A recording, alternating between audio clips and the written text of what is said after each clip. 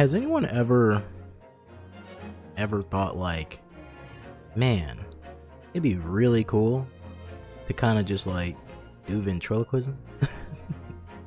like you ever had that thought in the back of your mind where you're just like, what if I what if I tried? What if I just got like a dummy? Well, maybe not a dummy, but like something, like a puppet or something. Dummies are fucking creepy. But like, what if you got like a puppet or something? And did a little bit of ventriloquism and you just learned how to do it. How fun would that be? I think that would be fun, right? Anyways, now that I have started my my uh my ramblings of madness. Welcome, one and all, ladies and gentlemen, boys and girls, man, machine, everything that lies within between, to more Great Ace Attorney Chronicles, where we last left off. That was like, what, last week or some bullshit? where we last left off, we did the whole entire trial of um, Mr. Soseki, I think his name is. Um, a, uh, a literature student, a literature student uh, who came to London or whatever to study, well, of course, to study literature, right? He was framed for murder. Well, not framed, but he was, well, I guess kind of framed. What, what would you call it, right? Because no one did it in like malice, right? It wasn't like anyone said, fuck that guy, I'm gonna frame it on him, right? It was just kind of an accident, right? But we got down to the bottom of it. We cleared his name, but his fate still uh, still is um undetermined, I would say, because apparently anyone who is going against um what's his name? Uh what the fuck? What the hell is the character's name? I just hit my microphone. Great. What the hell's character's name? Um, Von Zieks? Von Zieks. Yeah. Anyone who goes against him, aka the Reaper, is surely to die, whether by the hands of the law or miracle. I guess I don't fucking know. So, we're all crossing our fingers. But after the trial, we were, uh, we were invited to stay with Herlock Sholmes and now our office is in his attic, I guess. right? I don't know. But let's see. Let us continue and see what the world the fucking Great Ace Attorney has in store for us at the start of the next act, arc, chapter, something. I don't fucking know what to call it. Episode five, The Hound of the of the Bakersville. Bakersvilles. It's coming! Sholmes's cry pierced through the thick wall of fog around us. Wisps of vapor flowed over the pistol as I cocked it, and I waited, breathlessly, in the stillness. The silence lasted for what seemed an eternity, until, at last, it appeared. From the shadows of the cloud, an enormous beast sprang out upon us. A hound it was, but not such a hound as any mortal has ever seen. Its eyes glowed with a smoldering glare. The whole of its ox-sized body was outlined in white-hot flames. Its rumbling pant and hideous howl, so terrified was I that I began to tremble with fear. Look well, Wilson, Sholmes declared, gazing upon the mystical beast. For this, this is the diabolical hound of the Baskervilles. Baskervilles. That's that's what it was. I thought it said Bakervilles. Baskervilles? What the fuck? That's a that's a name. Oh, you kooky English people. Our first two months in London's passed by in a flash, like Barry Allen. In the disc, in the disc, fuck, I'm already fucking up words. Great, good job. I might as well just end the stream now.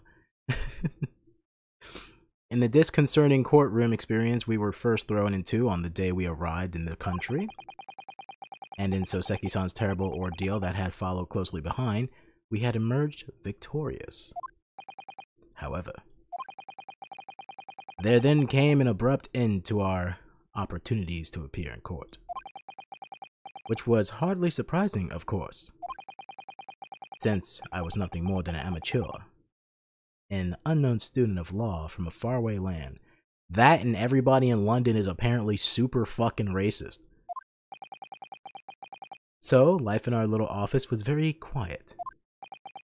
That is, until it was shattered one day by that fateful telegram. 15th April, 9:13 a.m. Naruhodo's legal consul consultant consultant I can't say the word, I'm sorry.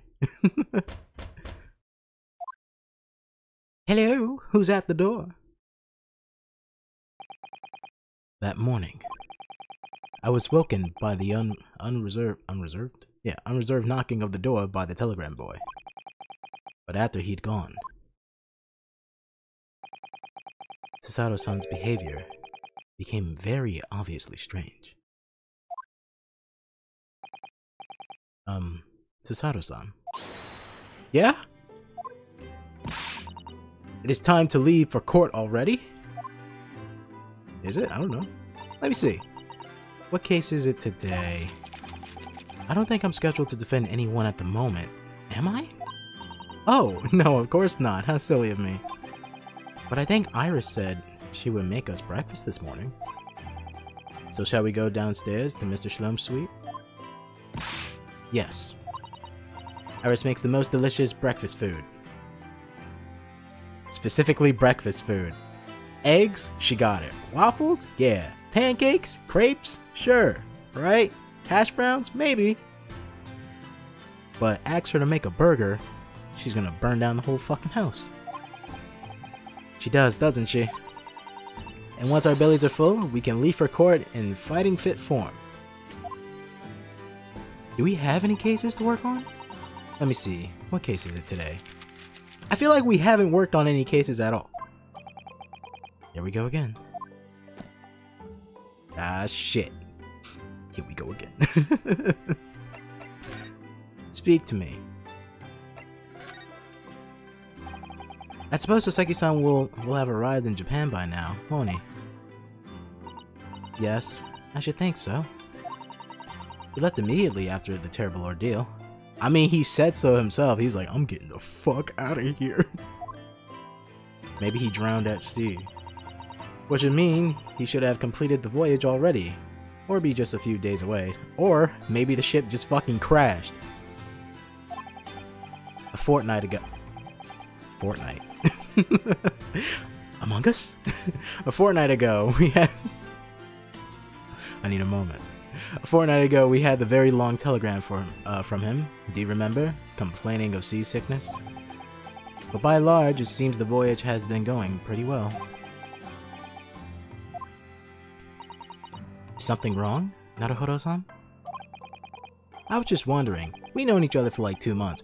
Stop calling me Naruhodo. Please, just call me. Why don't you just call me by my fucking name? we may have become Soseki's. Uh, wait, what? What the hell is that? Oh, what might have become a Soseki-san had he stayed in London? That's all. Okay. You mean in regard to Lord von Zieks, the Reaper? Yes. I can't help wonder if seasickness would have would have played into. I can't even fucking wow. Would have paled into insignificant into insignificance in that case. Jesus. Why can't I fucking read? Also, I want to make sure that my mic is actually on for a moment. Alright, good. We're good. Don't need any repeats of uh, Persona 4. The two times in the playthrough where it's like, what? The game audio is muted? Why? oh shit, that totally reminds me. I should be recording this. Fuck, I gotta remind myself to actually record off of this software instead of relying on Twitch's bullshit. so what was it about? The telegram that was delivered this morning, I mean. Oh, a, a telegram? I... I don't know what you're talking about! What do you... What? Susato. Come on, girl. What you doing? Sorry, but you're not gonna get away with that. well, I didn't think I would. But you had to try anyways. Actually, um... Don't give it a moment thought. It's nothing. Nothing interesting. Boring, in fact. Ahem. It was just a boring old telegram. That's three times now that she tried to that she tried and failed to convince me it was nothing. What'd you hiding? I promise that I'll tell you about it at some point. Alright. Okay. I'm I am alright. You know what? I'm gonna let you rock. Yeah, alright, I understand. I'll, I'll let you rock. You know? For now. what is it they say? That no one who stands stands in the dock can be saved by the Reaper, right?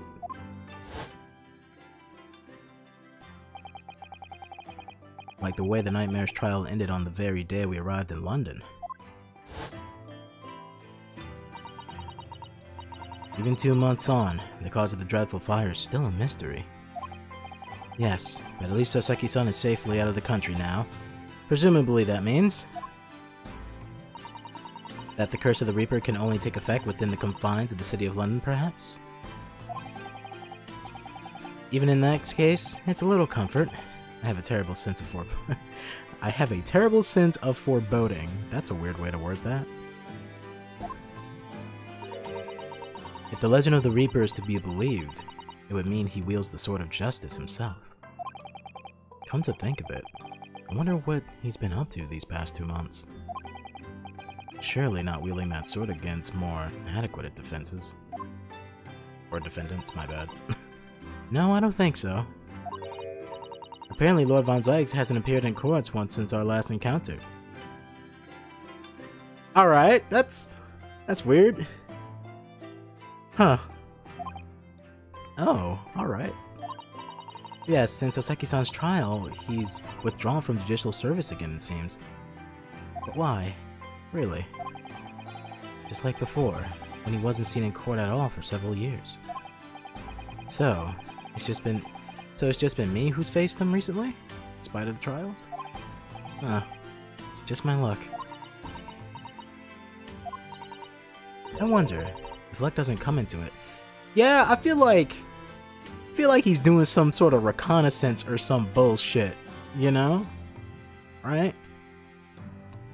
Cuz we can't forget, I mean, it's been months since it happened for me anyways. But can't forget the first trial we did. Oh, we're just gonna let her go. We're just gonna let her go? Yeah. like what? Sorry, what does that mean? Oh, nothing. Never mind. Alright. Okay. Guess we'll, uh, get some breakfast. But first, I want you to look at this. It means a great deal to me, you know? That you cherish his armband so, and wear it each time you appear in court. Well, it's very important to me. It's what shows that I'm a lawyer. And, whenever I wear it, I feel as though it gives me strength, through Kazuma. I absolutely can't be without it, especially when I'm at a critical point in the trial. But just the other day, I noticed you wearing it when we went to visit the park. Sometimes I forget to take it off, alright? I'm just I'm just proud of it. It's my precious. It's my first precious. Susato-san, you're my second. Smooth moves. Alright.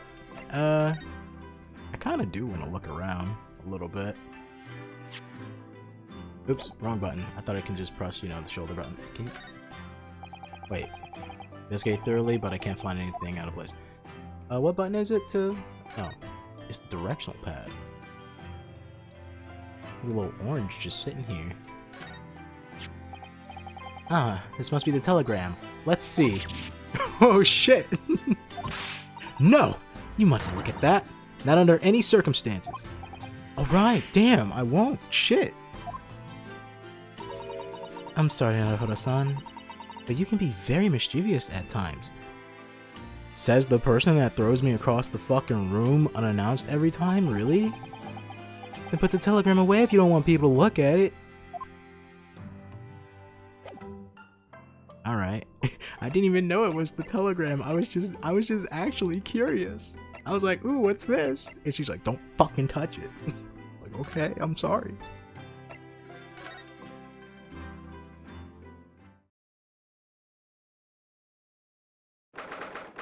Fifteenth of April, Shlum Suite. Morning, Runo. Morning, Susie. Good morning, Iris. What the fuck? Who's playing the violin? And why is it so bad? Um, Iris. What is it, Runa? What the fuck is that noise? It sounds like a cat being strangled. Oh, yes, you noticed that, didn't you? Oh my fucking god, can you stop it? Early isn't the best form, isn't it? Shit. Early isn't in the best form the morning, it seems.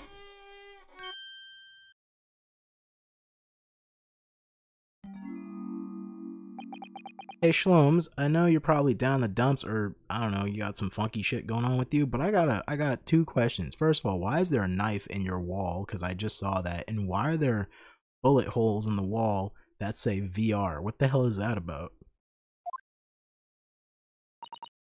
Um, hello, Mr. Shlomes? G good morning.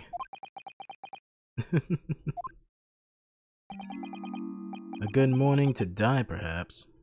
Oh, shit. Something happened, Mr. Slums? You look miserable, in the way you were playing the violin before. Hmm. My analytical mind is dead. Music is dead. The world is dead. Cut my life into pieces! Damn this blanched existence. That's all it is, my dear fellow. No, nothing of consequence. And you and me both, Susato. Well, Iris, isn't it time we ate? Some dry toast and ins and inspid inspipid insipid. I don't fuck. I'm sorry. I don't know what that word is. I probably do, just don't recognize it. And coffee for me, if it's not too much trouble. What? Oh my god, is fucking Soseki's cat around here?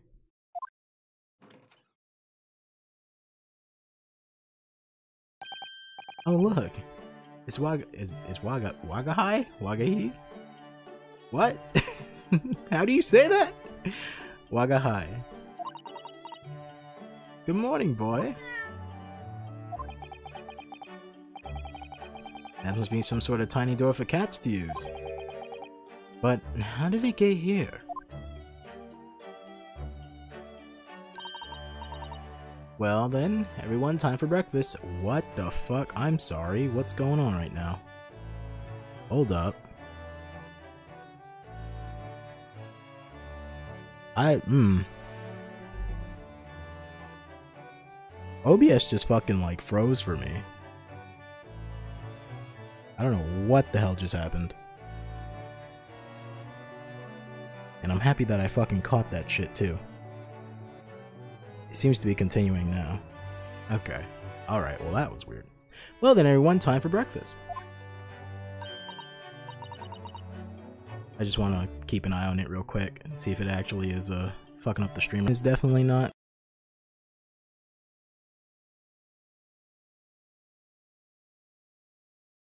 Not going right with this. Let me check this out. What the hell is going on here today?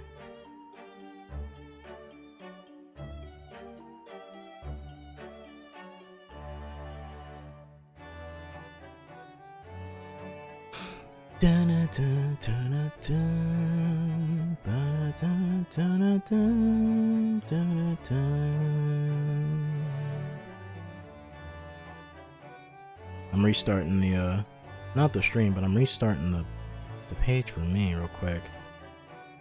Okay, it seems fine now, but for, for like a quick second, it like kind of stopped for me. I'm not sure if it affected you guys at all, but it looked like it looked like something bad went down.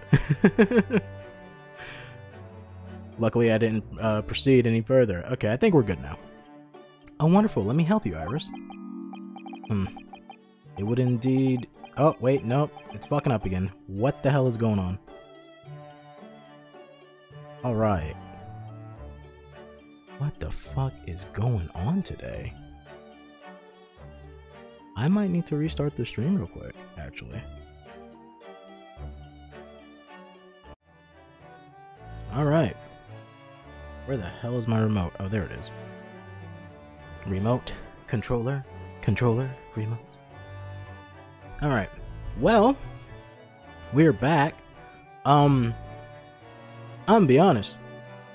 I don't know what the fuck happened to my PC, but for some goddamn reason, my disk drive was just constantly full. So I went to my task manager and I'm like, what the hell is all this bullshit going on here? Right? So, as of right now, it is fixed. Temporarily. Later on today, I'm gonna have to finagle with some of that stuff, though, honestly. And just just do like a like a strong ass cleaning out of the PC, you know? And then maybe finally take my ass over to the PC shop and grab an SSD or some bullshit. I don't know. I've been holding up holding off upgrading this damn thing for a while. But anyways, we shouldn't have any more problems tonight. Hopefully. I just inked it, didn't I? Alright. Now hopefully nothing was lost because I did uh I did make sure to press that record button, right? Earlier before the stream got fucked up. So hopefully none of it got fucked up and it's all going to be saved in the in the YouTube video or some bullshit. But anyways, we're back. So, something's missing from Mr. Shlom's desk. He's down in the dumps today. What The hell's wrong with you, Shloms? What's going on? Wanting to die. the missing machine. Mr. Shloms, I don't like to pry, but... Your desk looks rather empty today. Ah, well done, Mrs. Sato. Your observation skills do you credit. Oh no, Mr. Slums. They pale in, they pale into insignificant wait what? They pale into insignificance.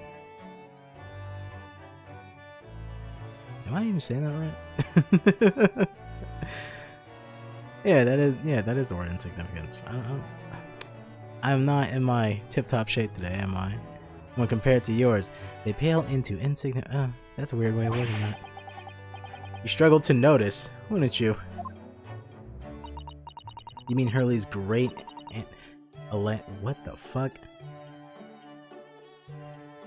I can't say the word analysis. Jesus. Analyt and fuck. Analytics scope? I can't say that word. What the fuck? That's a Winbanks now. That's a Windibanks now. What the fuck? What the hell is a Windibanks? What the hell is with you people? Why do you keep saying these weird words? Sorry. What's a Windibank? Yeah, exactly. What the fuck? Speak English, damn it. And I mean like American English. In proper English. no, Windibanks. The the pawnbrokery. Pawn? What? You mean you pawned the enormous machine off of you? Uh, off of what? That alright, that was just my fuck up. You mean you pawned the enormous machine of yours? It has some considerable value, you see. Quite undeservingly. But isn't it very important? Isn't it a very important machine to you? Fuck.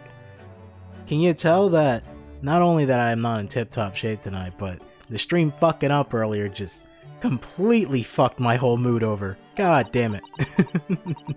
I do wish you had consulted us if your situation had become so dire. What the fuck are you talking about, Susato? We're broke ourselves. That's why we're living here. We can't help him with his monetary shit. I should have gladly passed a little income I have to you. Dear madam. Oh dear madam, things are far from desperate. But but the pawnbroker has you has your wonderful machine. I'm not gonna be anything but desperate. Making use of pawnbrokery is quite ordinary here in London, I assure you. Is it? It doesn't sound ordinary at all. It would seem that neither of you fully understand how pawnbrokery works. Oh. What's to understand exactly? What, did you... How pawnbrokery works. Did you, uh... What, what'd you do? Did you, you lease the item or some shit? What was going on? Did you not pay your installments?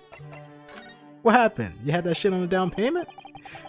Um, what did you mean when you said we didn't fully understand how pawnbrokery works?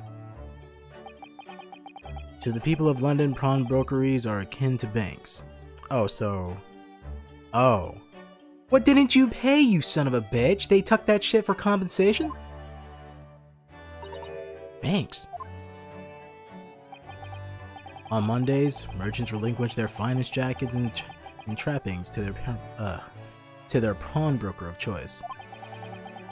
With the money they receive in return, they are able to trade happily through the week.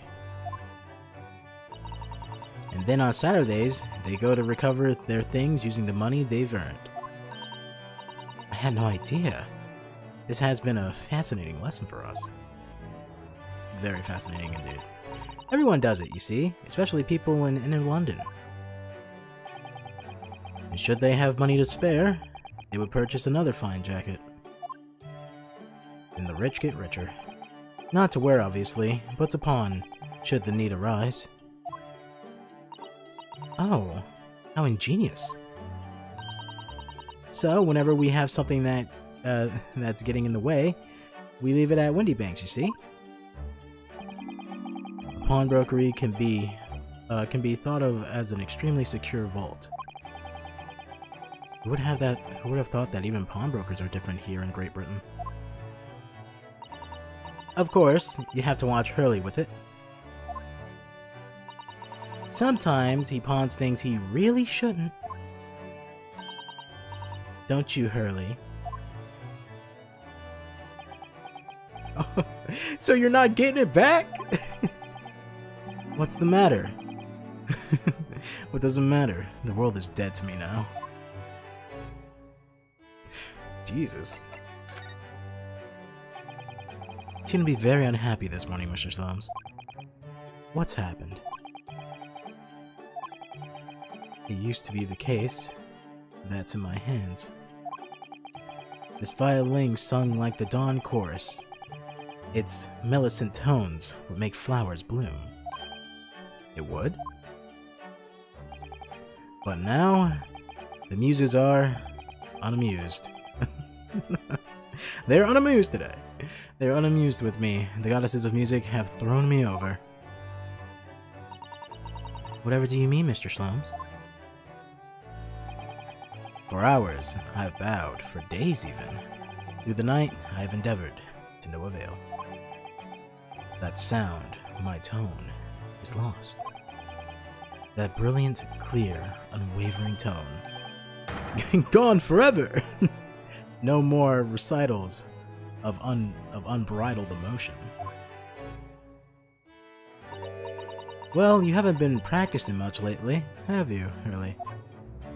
I went I went I went a wee bit Scottish there. I don't know what happened when I was reading her line. I fucking turned to Shrek for a moment.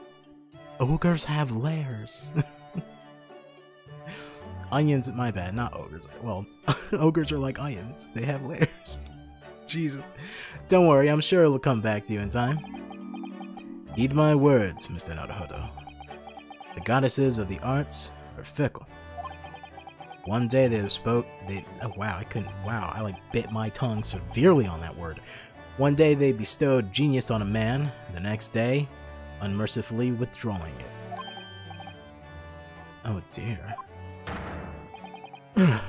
Why is this happening to me? They take the turn I have for the volley. Uh, wow. Wow. What is with my mouth today? Why can't I do word good? If they take the turn I have for the violin with me, what is left for Pete for Pete's sake, for pity's sake? What the fuck is wrong with me? um, deduction perhaps? Isn't that what you're known for? Hmm. Well, Mr. Slums, I don't... Maybe this will cheer you up. Mr. Slums, could I ask for your opinion about this? You lure me to raise my my my linguine my linguine. What the fuck? That that is a word. you lure me to rise my head with the promise of some mental exhilaration. Yet, in my morbid depression, I am comforted with the most mundane of problems. Oh, Okay. My mind finds greater stimulation in the forgiving mono uh, monotony. Monotony? Yeah, that's a word. Of the floor than in your miserable offering. Wow, was glad to help, dickhead. Oh, my head weighs heavy on my shoulders. Well, I don't know what I can do to fucking help you, uh... Talk to me. What's your face?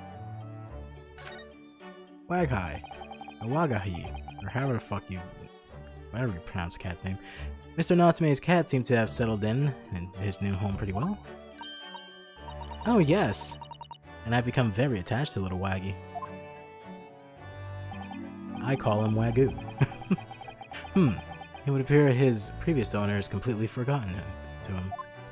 I mean, he wasn't really his owner, right? The cat kind of just like freeloaded and just kind of snuck in, I guess. Also, why do you have like a genie shoe in the background? What the hell is that about? you got some weird shit in here, Shlomes. Cats are unfeeling creatures. They're they're mews. They're mews.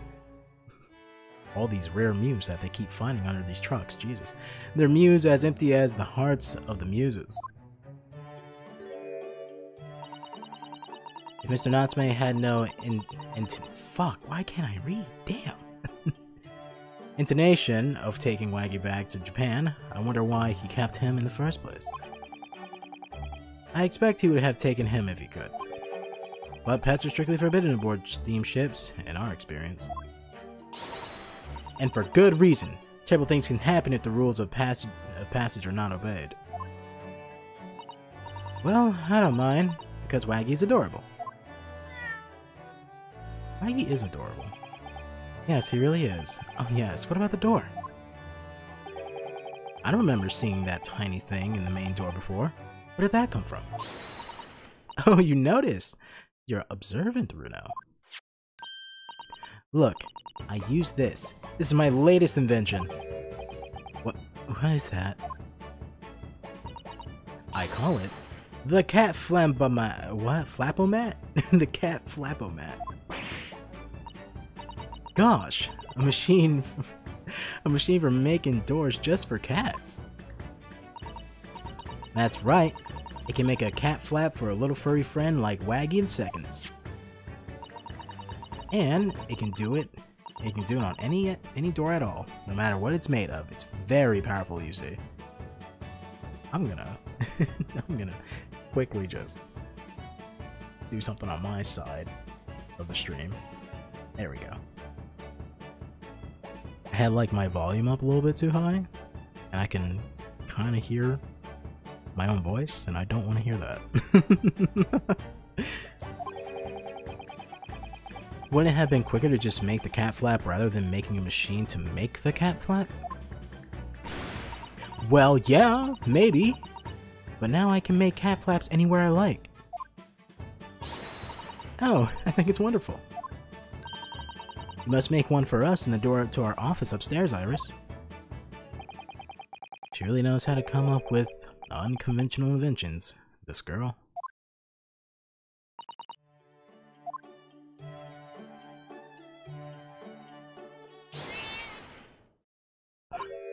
Oh, what was that? Did someone step on the cat? Did someone break its spine? Wagahai? Oh, oh, oh.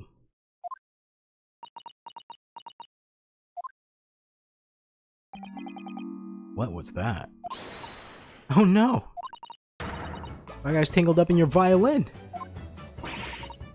I think he's... I think he thinks it's a toy. No! What is he doing to it? Oh dear, Mr. Sloane's precious violin. Why should I care? What? I shouldn't be surprised cat is a more the cat's a more accomplished musician than I am. Jesus. Someone's down in the dumps. Well, anyways, I'll put it back where it lives, shall I, Hurley? Out of the cat's reach, if possible. Maybe we should assess the damages. Hmm. Alright. Well, let's take a quick look-see, huh? Now, what did it do to the violin? So, this is the violin, is it? It's a Strav... Strav... God, Strav... Strav... It's a special type of violin made for fancy pantses. Jesus. Big word names that I can't do. One of the finest violins in the world, made by the renowned Italian Luthener... Luthener? Yeah. Antonio Stradivari. Stradivari. Stradivari. Stradivari. Bearstein Bears. oh, I see, I see. Doesn't really look like anything special to me. I happened upon it covered in dust. Lingu languishing. Lingu what the fuck? Languishing. That's a word. That's a word that exists. Come on, brain, you can do it. In a pawn shop down down a nondescript back alley. The broker had no idea of its value, so I was able to purchase it for a mere 55 shillings. Talking about that 55? Talking about that free 99? How honorable of you. And until today, it has been a faithful companion in every great Pag Paganini? What the fuck? Paganini-inspired performance I've made. I ask you, is there reason to live in this world devoid of music? To tolerate this blanched existence? No. There is none.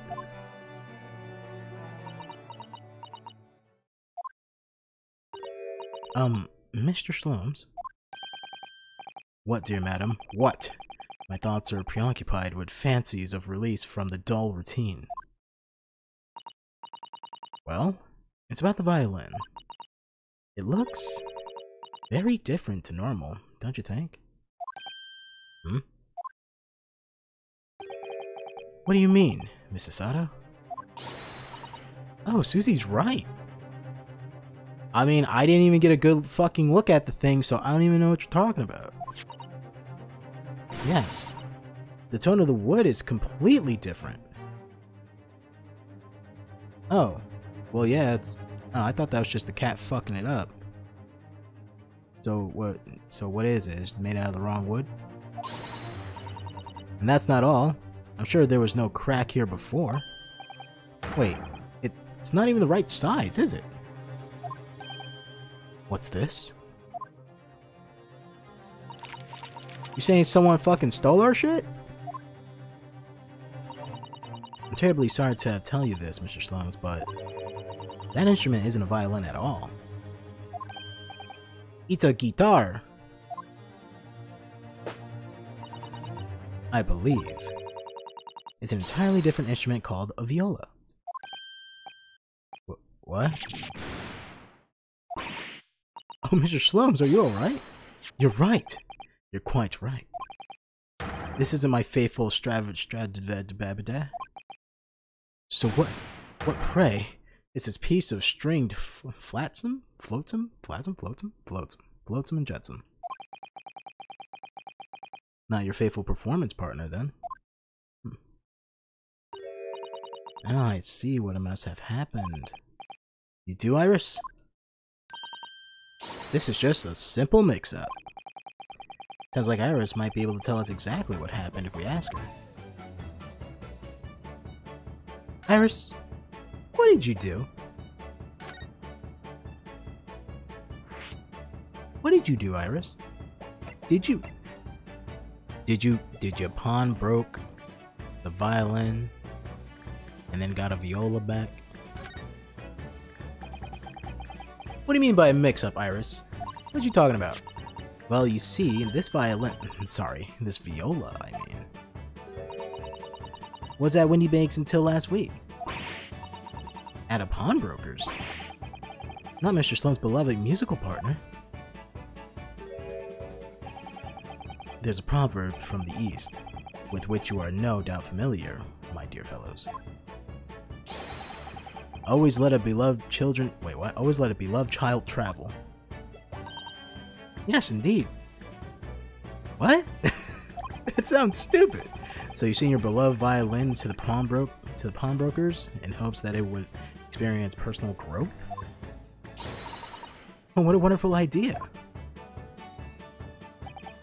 Last week I pawned my great anti that that that fuck fuck scope, whatever, telescope, in order to realize my precious wow, in order to realize realize in order to release my precious instrument. But it would appear Mr. Windibank mistakenly fur uh, furnished me with this tawdy fiddle instead. But my ears cannot be deceived by the hollow. they can't be deceived, but you sat here and got all depressed over it. and you're like, life is over. I should just kill myself. but my ears cannot be deceived by the hollow trim, trimbre, trimbre, trim, whatever, of the piece of timber. No, but your every sense was deceived by the fact that it just had strings. For sure. Yeah. A fine state of affairs this is. And why I always say and, and why I always say, Mr. Naruhodo. Never trust a pawnbroker. They will try to fiddle you every time. But earlier you told us that you can think of pawnbroker as an extremely secure vault.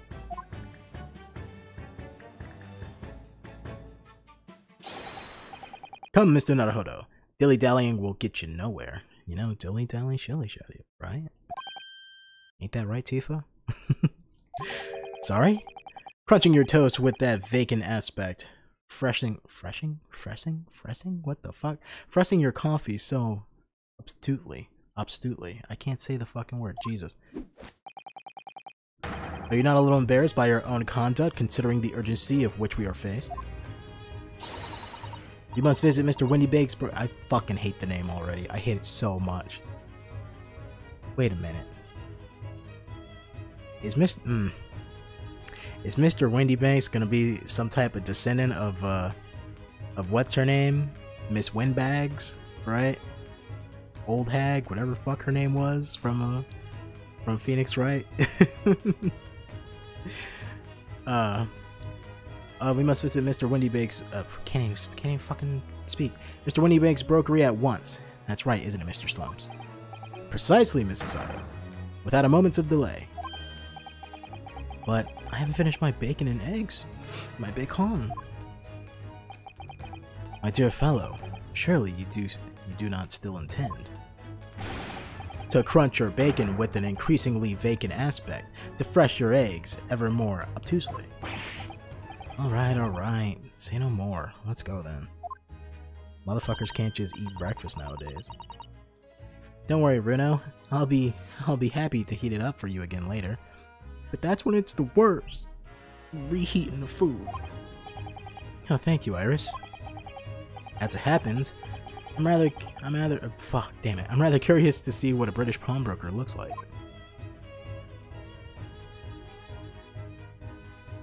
I don't think we have anything else to talk about, right? Yeah. Let's get going. Oh, we can go to Baker Street. Directly to the pawnbroker or Baker Street. Baker Street. I wonder what's going on out here in Baker Street. I guess this is where we live, right? Pawnbroker's just right here. I guess I'll just check outside. Look at all the different things in the windows of the shop. Ah, that's Windibanks, a pawnbroker, eh? Looks much smarter than a pawnbroker in Japan, doesn't it?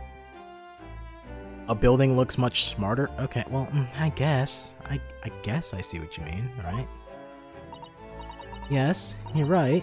I find pawn shops at home rather inapproachable, personally. Maybe because it's some dude, like, just claps in his hand together going, Yes, yes, sell me your things. Mm, yes, buy my things. Someone else had this before you. It might have cooties on it. That's what I think every pawnbroker is. You know, just exactly what Malcolm Moore said, right? Smells like R. Kelly sheets. Piss. fuck it, it was 99 cents. it reminds me of tearful parting with my favorite fountain pen. I felt so merciful. What doesn't kill us makes us stronger, Mr. Naruhodo. Poor you. Poor you and your fucking pen. You, you fucking loser. My favorite fountain pen! I love this pen since I was a child.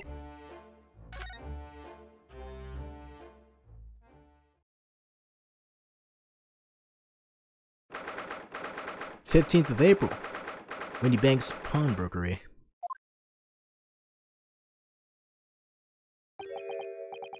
So this is a British pawnbrokery. Oh my, there are all sorts of tools and contraptions in here that I've never laid eyes on. I'm sorry, I fucked that up. That I never laid eyes on before. Ah, Susato-san, and the spark of wonder in your eyes. You can't wait to score the shelves, can you? I get the impression you enjoy places like these. Oh yes, I don't know why, but seeing such a seeing such a lot of things I do not understand is a real thrill for me. Okay? My dear fellows, let us not forget why we're here. Oh, Mr. Shlums, did you really have to dress up all the way to just go downstairs? we are calling on matters of business, not pleasure. Excuse me, speak for yourself, Shaloms. My pleasure is my business. Hey. and clearly Mr. Shlomes means business to, uh, too, judging by the sparks of fury in his eyes. Oh, Mr. Sure, welcome back. Did you hear the brazen welcome? Well, yes. We're, we're potential customers after all. We are disgruntled customers, Mr. Naruhodo, and it's time to inform Mr. Windibanks of our ire. Come! The fight is afoot.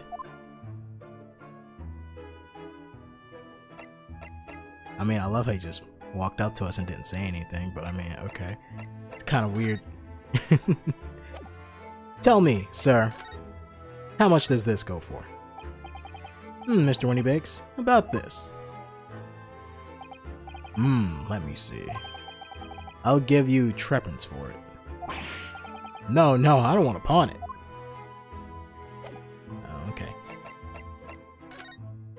Alright.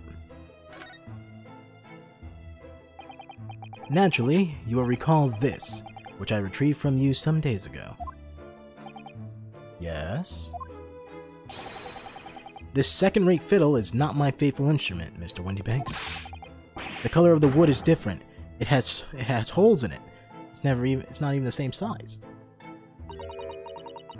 A wonderful summary of our observations, Mr. Slomes. I'm so very sorry, sir. How utterly forgivable of me. An inexcusable mistake for a pawnbroker. There's only one way to make amends. I will suck your dick for you. Is that a gun? Oh! What are you doing? I shall take my own life. I really, listen. It's no joke. But I'm about to start joking a bit. I really hope Shlums goes. Do it, coward. I don't think that will be necessary. Do you? Damn it. I would have loved if Shlomo just looked at him and went, Do it. You won't. if I may just say one thing before I pop off. Man, I'm about to bust. Uh, yeah? It was you, sir, Mr. Slomes, who took it upon himself to remove the item the other day, I believe. Sorry? As I recall, I entered the storeroom to fetch a violin when I heard, ah, here it is. You, you did?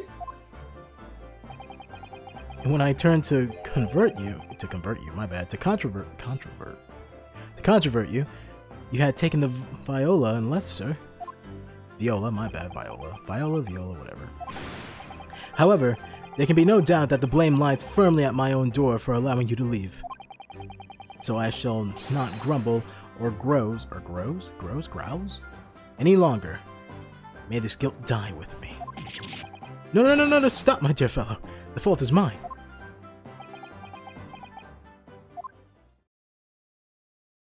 Jesus, man, you're alright? Phew! It would appear that the fight is over? I do humbly apologize, Mr. Winniebanks. Evidently, my questionable disposition. Per fuck, damn it, big ass words. Evidently, my questionable dispositions predicted this tragedy. You could have just left it at, I'm sorry, dude, my fault. Well, you wouldn't be Mr. Herlock Sholmes without that questionable disposition now, would you? Does anyone actually talk like this nowadays? Like, I get that this is ye the London, right? But no one talks like this nowadays. Oh yes, your indistinguishable, indistinguishable disposition. what? Uh, I do believe you may be right, sir. It's either laugh or cry, I suppose. Or die. what Mr. Winniebanks was trying to do, just pop off, as he puts it. You are, it must be said, one of the more challenging customers. I need to remind you of the peculiar collection of items you bought through my door in the past. Oh? Peculiar items? Yes, Susato, don't you know? Like a flashlight, a blow-up doll, uh, this crazy machine with like a piston on it. it was self-cleaning. And the extremes, ma'am. For example, the unpublished manuscripts of an impediment. Fuck. Epon hmm. Words. Eponymous. I believe that's how you say that, right? Eponymous works. The novels of Herlock Sholmes, or some such. Oh my, a new full-fledged novel. And unpublished? A story I have yet to read, you mean? Forgive me. Wait, before you die, you must tell me. Wait, not not fucking not no, don't do that. It's alright, but before you do that. Tell me about the unpublished story. I must know more. Tell me everything. Wow, Susato-san's really fired up now. Is there really an, an unpublished story under this very roof? Well, one day the gentleman here brought in an old metal chest, you see. I should like to entrust this with. Uh, I should. Uh, blah, blah, blah. I should like to entrust this to your care for a while, Mr. Winniebanks. Hmm. For a chest like that, one shilling, sir. Neither furthering more. It has something of great value indeed. The latest manuscript, recounting the adventures of one Mr. Herlock Sholmes. I beg your pardon, a manuscript? You wish to uh, deposit a manuscript? Indeed I do, for I am confident it will be quite safe here. And that was that. As such, Mr. Sholmes' latest tale of otherworldly mystery lies dormant in my storeroom. Mr. Sholmes, is that really true? Do I sense that someone doesn't want to talk about this? I continue to pay your fee, do I not? And kindly continue your store. Uh, kindly, uh, blah blah blah blah. kindly continue to store my belongings securely. Of course, sir. Of course. They're safe. they're safe and sound with me. I assure you, on my life. This is a very strange. He's very, very strange guy takes his job seriously. I wonder, can I ask you something? Uh, a gentleman from the east, I see. Yes, that subtle, that subtle suit. I suppose I could offer you sixpence for it. Without wishing to offend, the tone is somewhat dull. Uh, sorry? but for your splendid attire, ma'am, five guineas, no less. The colors are exquisite, the designs exotic, Eastern art style at its finest, may I say. Oh my, five guineas you say? How interesting. Why do I feel like I, su I suffered some sort of defeat here? Actually, I was hoping to ask you about your business. I've heard it said that pawnbrokers are used rather like banks here in London. Yes, sir, indeed. Many of my customers utilize the establishment as you describe. I appraised their items and offered them appropriate loan and two months of, secu of secure storage. Or stowage, as he puts it. If in that time they repay the original sum to me plus the agreed interest, their items are happily returned. But what happens if they don't pay you the money? Then it's mine and I keep it. then the items are offered for sale in my shop, as you can see on the shelves behind me. So, you never sell items before the two months have passed then? That's right, ma'am. That's right. Which means some considerable responsibility rests on my shoulders. Should a customer prestige belongings be lost, the only rep, uh, recom- damn it, the only recompense, words, the only recompense for me is to end it all. Jesus. The very idea of Mr. Wendy Banks is an absurdity. One should never talk of one's demise so casually. Says the man who was telling us of all the good days to die only this morning. Jesus. Let us not forget that I have already helped you take measures to ensure such a tragedy never occurs. Oh, what sort of measures? I engineered a simple device which Mr. Windibanks has installed here in his shop. I call it the Red-Handed Recorder. Is it a camera? Is that not so, Mr. Windibanks? what was that deep sigh about? What happened? Did you sell it? Please don't tell me you sold it. What on earth is a red-handed recorder? Use your eyes, my dear fellow. There are two just below the ceiling. Oh, I see what ha- I see what have- oh, damn it, I can't read. I see what appears to be a camera attached to some sort of timing device. Very astute. It is indeed a camera, furnished with some hundred pieces of celluloid film. And, every 30 minutes precisely, the camera automatically records the appearance of the shop. Here, I have an example I can show you.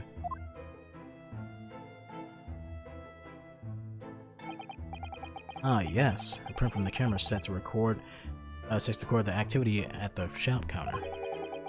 Developed a special type of film so sensitive it produces a crystal clear image even in the darkness. Really? That's extraordinary. Yes, you can clearly see the counter and the door behind it. And the picture of the dog on the desk.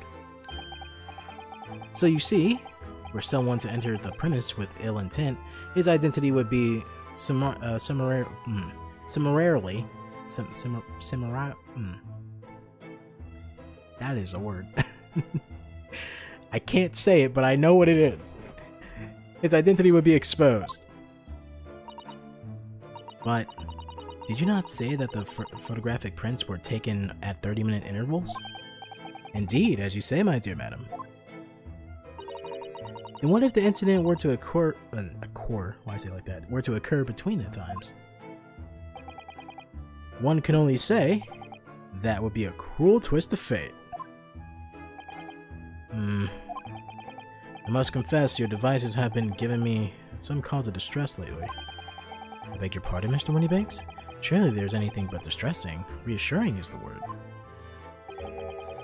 It's the cause of the film, sir. You most graciously placed not one, but two cameras at my shop after all. Which means I must pay for nigh... nigh... wow. I must pay for nigh on 100 utterly useless prints every single day.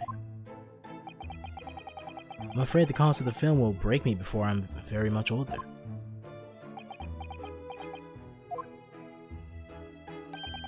Nevertheless, a small price to pay to ensure the safety of my preferred pawnbrokery now. My dear fellows, we verge on an age where safety and security comes at a price. Speaking about safety and security at a price, have you guys ever heard of ExpressVPN? This video is sponsored by ExpressVPN. you want to watch Friends? They won't let you watch Friends because you live in fucking England or some shit? Get ExpressVPN today. Just just type in the code I sold my soul 123 and you'll get a free month for some bullshit. Oh, heavens help us. VPNs are good though. They are. Now then, Mr. Sholmes, allow me to return your precious violin. Ooh, look at that cherry red on that shit. That actually looks really nice. Oh, the very thing. Thank you, Mr. Windibanks. And somehow you didn't know the other one wasn't your violin when this one looks so goddamn nice? Perhaps this may mark the end of the peculiar items you try to pop. Hmm. Because if anything were to happen to one of them, this would be the only answer. I really think you ought to stop waving that gun around. Someone could get hurt. Fear not. Sorry? I've only loaded a single bullet so no one but myself could possibly be harmed.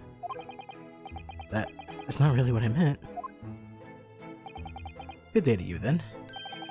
Mr. Windibanks. It's been a pleasure as always, Mr. Sholmes. So, Mr. Naruhodo.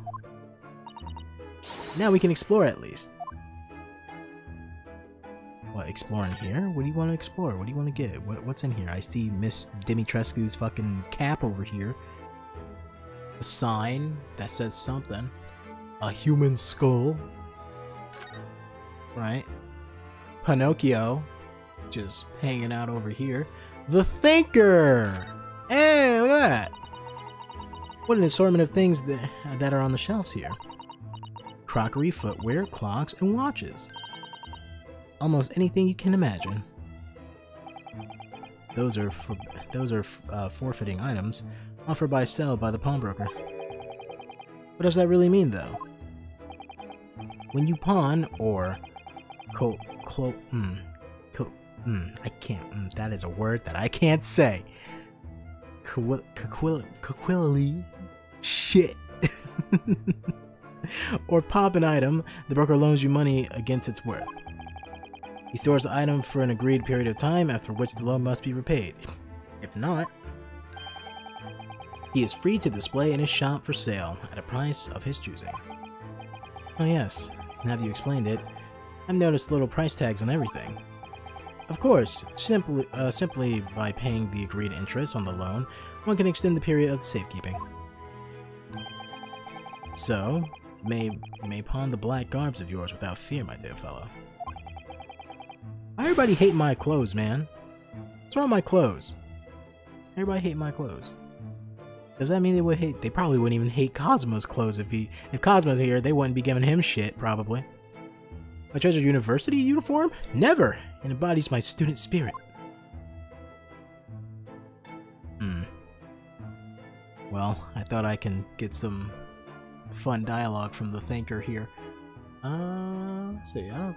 There's this fucking this thing that obviously just stands out. Look at this. What could this lovely big shiny box be? That, my dear madam, is a music box. Surely you have such a thing in your own country. Oh my, yes. But I never, but I certainly never seen one so large before. Shall we listen a while?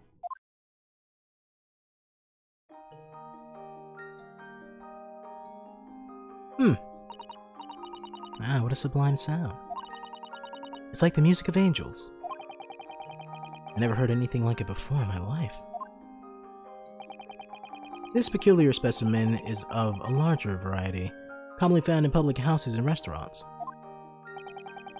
There's a metal disc inside on which the notes to be wow. There's a metal disc inside on Isn't this spelled with a C? I'm sorry, that really that really got me for a moment. There's a metal disc inside on, on which the notes on which the notes to be played are recorded. Simply by replacing the disc with another, any music you can uh, you can you care to imagine can be played. My goodness. What a simply delightful machine. Indeed. Though their popularity has waned recently with the development of the gramophone, of course. Science and technology advance at such in an overwhelming pace. Alright. I think that's everything to look here. I mean, there's the skull, but it's a it's a skull. I mean, eh, they might say something funny about it. Seems to be a little door hidden behind the curtains there. Oh, I didn't mean to look at that. That leads to the storage room, where Mr. Windybags keeps articles that are currently in pawn. Oh, I see. There's nothing of particular interesting inside. I certainly wouldn't recommend any luxurious activities. Recommended or not, it's not something I tend to do. There's but one key, and Mr. Windybags keep it in his pocket, keeps it in his pocket at all times. Before he sleeps, he places it into a small pot, which he slides under his pillow. How, how on earth did you know about that, Mr. Sholmes? I am a detective, sir. It's my business to know what others do not. I'm frequently assailed by information. Assailed? Yeah, assailed by information that I neither care for nor wish to retain. Mr. Sholmes, you're a wonder. And the prime suspect at the pawnbrokery has ever burgled. like, for real. Out here telling the man's whole secrets. Alright. Time to stop looking around. Guess we can head back up. Maybe something's happening on Baker Street? Oh. I thought if I walked outside of Baker Street, something funny would happen. I did not mean to come up to my legal place. I meant to head to Slum Suite, actually. We have returned! Where the hell are you, Iris? Huh. Okay, well, I guess I'll just head to, uh, my place then. Talk to me. Can it really be, uh, can it really be that we've been in Great Britain for two months already? Yes, it's gone by in a flash, hasn't it? And what an English gentleman you... You, tra you trailed off there, Susato. What were you gonna say? I'm sorry. When I thought it through, I realized it's not all that true, actually. I simply don't feel that any Britishness has really rubbed off on you. Says the woman parading around in a fucking kimono. Nor you, to be honest. Well, that's obviously because, yes, I know, without a doubt, it's your kimono. it most certainly stands out. Oh, but it's pretty though, I like it. I do adore the attire of English ladies, it's quite delightful. But somehow, I just don't feel ready to abandon my Japanese dress just yet. I wonder how Susato-san would look in Western clothes. That'd be interesting to see. That was cool. Alright, so what the hell are we doing? I, I guess I'll head back to the pawnbrokery and, and just look around a little bit more. There's something here. Let's see. Look at the enormous ledger open uh, open on the counter there. Mr. Windybags is, if nothing else, very peculiar about recording all the items he accepts. He has to be, otherwise he'd get himself into all sorts of trouble. Which might explain the thing that catches my eye far more than the ledger. The gun? like, this revolver here. Do not entertain even a single thought of, of pilfering an article herein, my dear fellow. Hmm? Speak English, Sholmes. You really just gave me a stroke reading that. I assure you, Mr. Windibanks would not hesitate to draw that weapon with the with the speed, uh, with the speed delaying, delaying his portly size. Oh, you don't mean he blow his brains out? Indeed, just so casually. Oh, you mean blow his brains out? Yeah, no, definitely. In recompense for his blunder. Oh my. But in any case, of course we would never do such a thing. How could you even suggest it? Okay, well, is that like the only other thing to look at?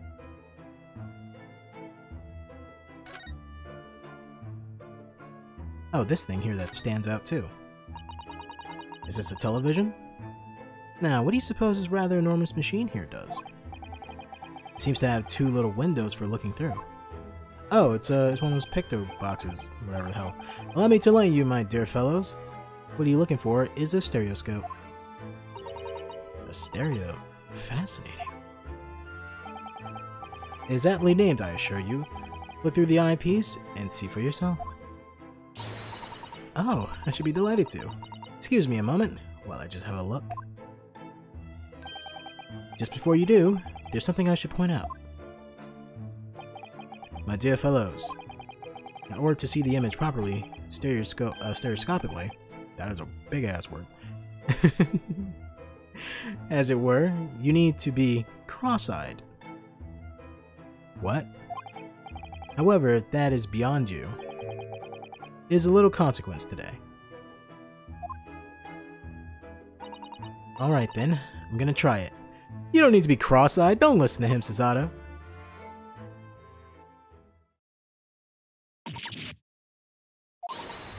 Mr. Naruhodo, you must see, at once.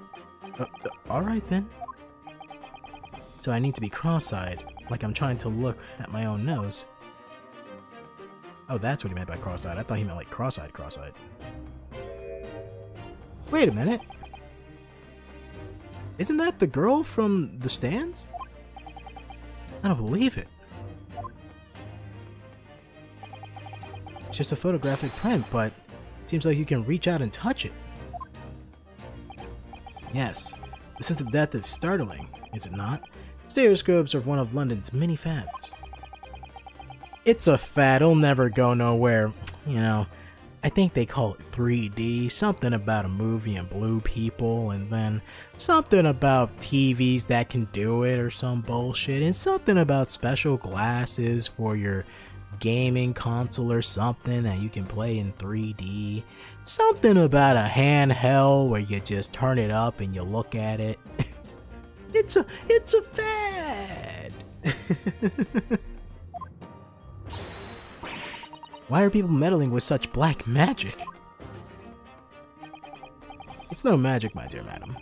It is, well, science. Far too complicated to explain at present. We shall save this lesson for another day. Oh, okay. Alright. Anything else to check in here? The date? That's on a calendar you could sit you can easily miss. April uh, 15th of April, today's date. Yes, it's not for sale, I must point out. It is an Eastern style page a day calendar. Every night at midnight, I tear off the front page to reveal the following day's date. The perfect calendar for a tear for a tearaway fellow such as yourself, Mr. Windibank. So, all right, let me get this straight. Mm. Well, I mean, I I was gonna say him buying film for the photographs is too much for him, but buying paper for his calendar isn't. But then I guess you kind of just buy them in bulk, right? Like you only need you only need 365 or 366, right? Yeah, 366. Um, if it's a leap year, right? you know. The perfect, uh, the perfect calendar for the tearaway. oh yeah, I read that already. Shit. And who was it you walked out here with the wrong? Wait, what? And who was it who walked out of here with the wrong violin before? Well, when the agreed storage period has passed without repayment, articles are forbidden. Are for, forbidden, my bad. Are forfeited. You see. So I have to keep a close eye on the date. It's something of a paperwork obsession, you might say. Paperwork? Why'd I say that? Pawnbroker. Oh yes, I can see you're very dedicated to your job. Put the gun down, please. Alright. Ooh, what's this? Look at this! Whatever could it be used for? Hmm. Nah. I got no idea. Doesn't it look like a... like a Morse code machine? There's a small catch just here. We're gonna open it, aren't we? Maybe we shouldn't. Oh my, that's amazing. Some sort of spring-loaded mechanism. Which we never managed to pull back to the way- which we never managed to put back to the way it was before. Oh shit. Hmm? What are you two doing? What? Us? Nothing? Nothing at all? I didn't- I didn't break anything. Whatever device this is, it seems to have a pair of little windows to look through. I feel as though I've seen it, something similar to this elsewhere. What? what? Only trinkets for it? That ain't fair, you know it? The article is barely worn a penny, miss. Uh, worn a penny? What am I saying? The article is barely worth a penny, miss. I cannot afford more. Afford? Offer. Yeah. I'm gonna take a sip of my water now. Maybe I should just slow down for a bit.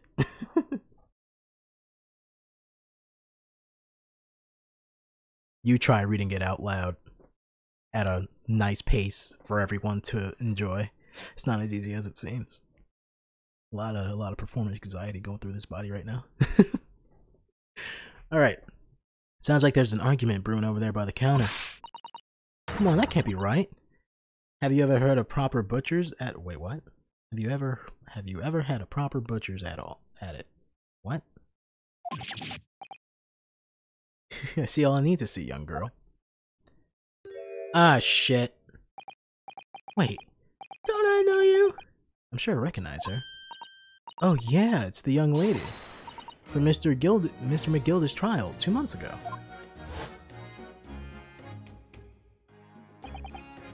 Her name? Gina Lestrade, my lord. She's a chancer. Chancer? Chaser. Chancer? Chancer. Earning her crust among large crowds, revealing people of their purses. Revealing? Re re oh, shit. Relieving. Relieving. Fucking damn it. What's commonly called a pickpocket. Or a street urchin. She has a gun! Watch out! Oh, hey, Gina. Gordon Bennett, you lot. Why do you still have that? I thought it was taken away from you. Miss Lestrade, I hope you've been well. Uh, what? You remember me then, do you? Well, I remember being completely surrounded by smoke, that's for sure. So, what are you doing here?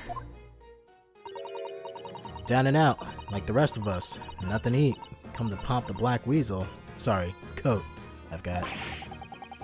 What's it about black uniform that makes everyone comment on it? What's wrong with my uniform? Why are you all hating on me? Ah, good day. Unless I'm much mistaken. You, uh, you, uh, shit. I had a stroke reading that. You be the young pickpocket who stole our experimental smoke grenade launcher. Uh, Mr. Sholmes. So, you have something of value to pawn, do you?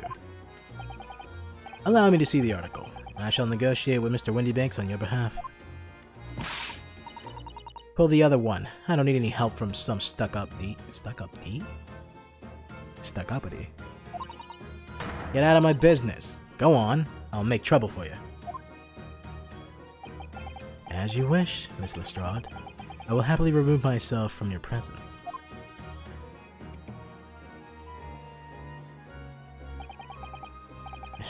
He's really done it. He's gone. I'm sorry, but as I said, there really is no room for negotiation here. What is the thing he has on in his hand? what is that thing he has in his hand? Is it is that a gun? Oh, some kind of metal disc? And you, go on, leave me alone. Oh, Miss Lestrade, just pretend we aren't here. We shan't be offering, uh, we shan't be offered in this, wow, what? Hmm, offered. Offended. we shan't be offended in the slightest. You can't say no to Susato. Come on, look at that face. Susato can really stand her ground when she wants to. Whatever. Alright, so, uh, what you doing here? Well, I mean, We know why you're here. You're trying to pawn off some shit, but, you know, what's up? Somehow I didn't really think you were that sort of person to use pawnbrokers, Miss Lestrade. Yeah, well I am, alright. I'm a Londoner, just like everyone else. Is that a problem? No, not at all. It's just that, well... On with it. I know what you're thinking. The things probably don't even belong to her. Probably got it and died, did she? Yeah. I can see it written all over your Chevy, your Chevy Chase? Your Chevy Chase, what the fuck? Alright. well, call me Chevy Chase? That's okay. well, I might have been thinking something along those lines. You're not gonna deny it, Mr. Naruhodo. Of course not. Alright then, I'm just gonna come out and ask you straight. Did you pot things that you steal from other people? Well, uh, I don't know about, I don't know the best way to answer that really, but um,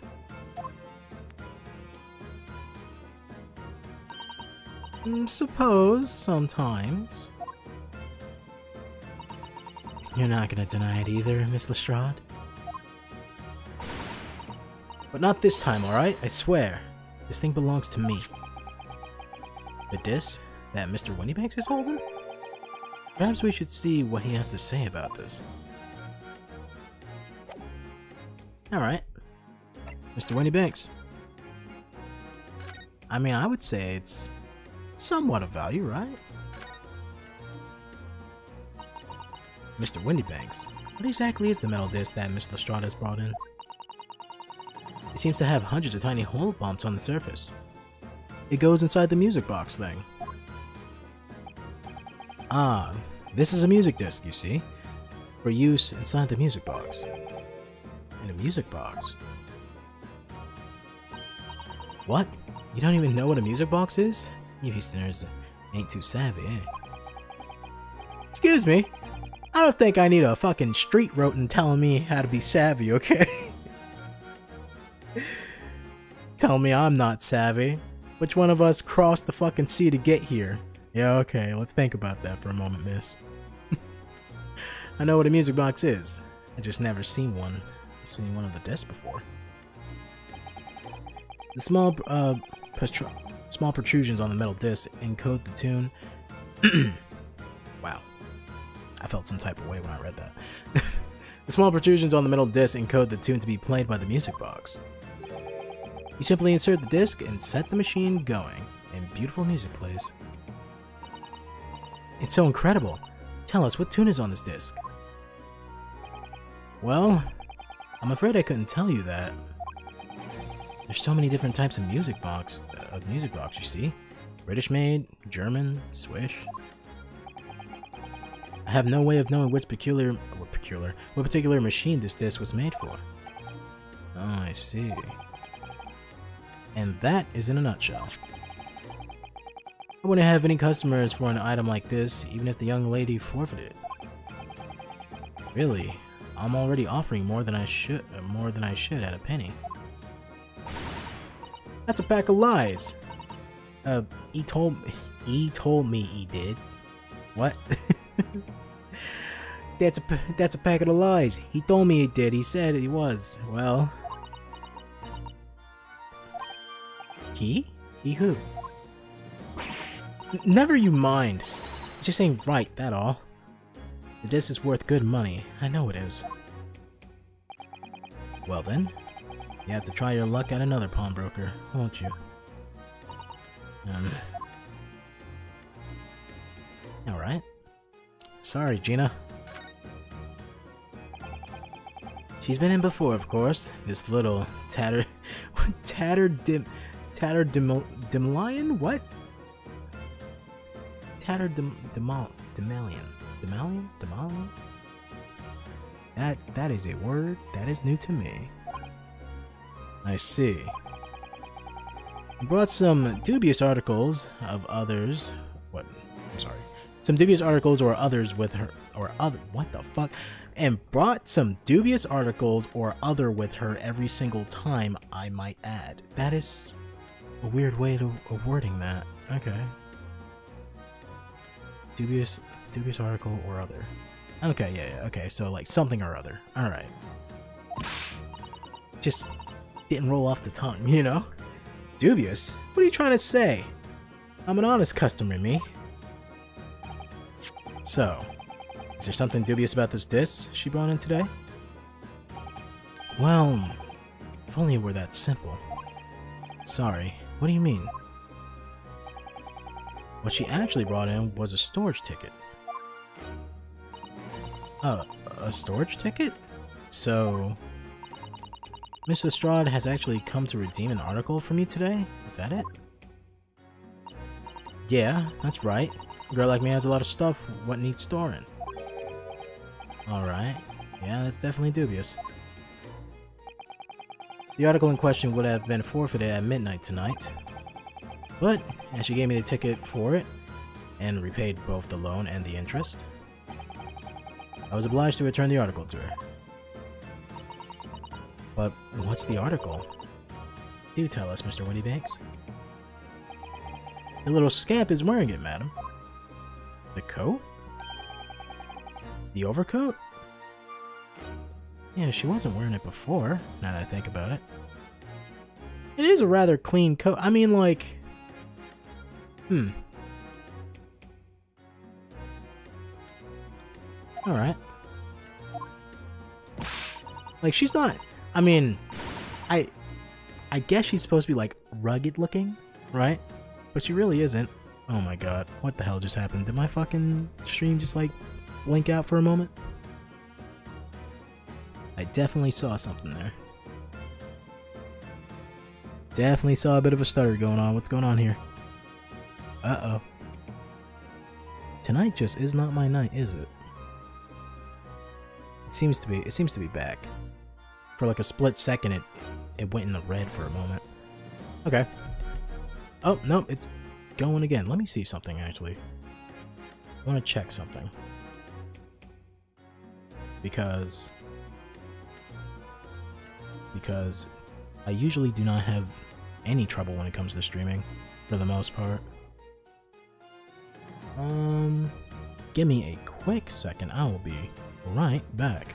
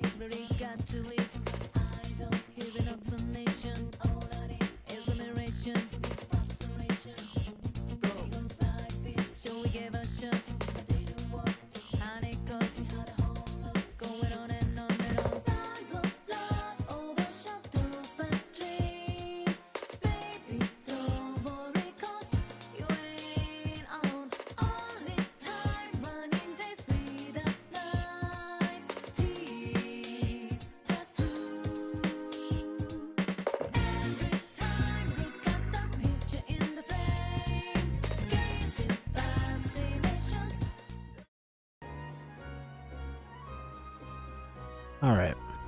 I am back. Hopefully I fixed the issue a bit. Fucking, I, hmm.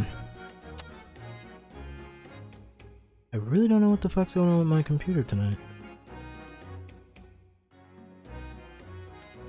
Okay, yeah, it seems like I seems like I fixed it for now.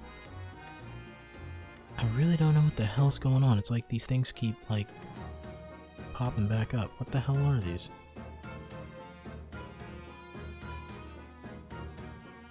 Runtime applications. What the fucking why? Why is it doing that? You know, everything was fine until I updated Windows. Cause we all know Windows Windows just love fucking you over the moment you update it. Jesus, god damn it. Alright. Hopefully I've uh, made it a little bit better now though. Alright, what the hell were you saying, Gina? What's wrong with it? It fits, don't it? I mean, it's mine, so of course it does. So, what about the disc then? How does that all come to this? Ah, the disc is something else. A new article upon if the girl and I can agree on a price.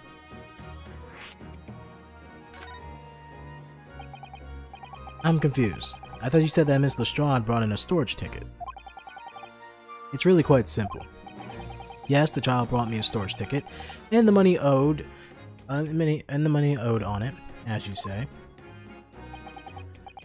For this heavy black coat, which you returned to her care, as, uh, as I understand it. That's right, yes. And rather unsurprisingly, as soon as the little rough ragamuffin put the thing on, she went rifling through the pockets. Oh, you, you mean... What? Don't you know it's rude to stare at a lady? Sorry. Oh, I see. So it came from the pocket of the overcoat, did it? If you mean this disc, then yes, exactly, ma'am. And she immediately tried to pawn it. For quite a high price as well. This is all rather suspicious, I think. Give it up, I'm just trying to pawn something that anyone else would have. Miss Lestrade, may I ask who who deposited the overcoat here in the first place? Uh, well, um, me? It doesn't really appear to be your size. Me old man. It's me old man's, ain't it? Is it Miss Lestrade? Yes. This is definitely all rather suspicious. One may call her sauce. Out of the way, please. Oh my god. This has to be the most Chad Wellington looking motherfucker in this game. Oh. Chad Wellington has returned, it seems. You can never escape the Chad. Mm, yes, indeed. Who's this who's this picture postcard English gentleman? Please say your name is Chad. Oh my god. Good day to you, ladies and gentlemen. What's your problem? There's no problem, as long as you remove yourself. I have a matter to discuss with the uh, perpetrator. Uh, damn it. Perpetrator. I can't even say the fucking word. Propertier. That's the word, right? And if you intend to make a problem of it, I shall see you outside, little girl. For the hidings you deserve. for the hiding you deserve. Jesus! He said, fuck out my way or I'll remove you. Look, ain't it obvious? I ain't done talking what I, uh, uh, with him yet. If you think you're such a gent, you should know to wait your turn. Well, you are an impudent little brat, aren't you? As well as a pickpocket. Uh, who, who are you? And how you know who I am? The question is, How do you not know who I am? I am Chad Wellington, the most esteemed. You haven't the courtesy even to remember the faces of your victims, it seems. Ooh, what? You mean, uh, uh, from you? Broker. Uh, yes, sir. I believe this filthy pocket thief has just has just redeemed an article from you, no? Y yes, um... The article in question belongs to me. I demand for it to be returned at once. Oh my. Now that's a lie. What are you trying to pull? Give me back my overcoat, you wartsel. and needless to say. Any music box disc too. You can't have it. You just can't. It's my old man's, or it was. Now it's mine. Goodness, Mr. Naruhodo. Jesus. This is a very awkward situation. My man came in here said, I'm he said, I don't care who you are. I'll kick your ass. and then started JoJo posing. Yes. I think perhaps we should hear both their sides in a little bit more detail. Come on, guys. Fess up. Talk to me. Miss Lestrade, it's what the gentleman is saying. What do you think? It's all lies, ain't it obvious? I swear on my life, I never laid eyes on the dandy before. Let's hear it now, you little ragamuffin. You stole it, didn't you? That ticket you brought in here just now? No, I swear it. I swear to God. It was barely an hour ago. I was walking along the streets, minding my own business, when this little gutter gutterling, Jesus, they're just bashing on her. She ain't that bad, right? when this little gutterling ran into me, I knew at once what had to hap uh, what had happened. I've been robbed yet again, I thought to myself. Those wretched pickpockets. Yet again. Oh yes, as you can see, I'm a man of impeccable style. Hmm, yes, my style is, uh, top-notch. This isn't the first time I've been targeted by these black... Uh, fuck. Jesus. Uh, that came out wrong. by these... Oh, wow, I had to stop myself there because I make... Because I was about to... I was about to mix the words back and slums together.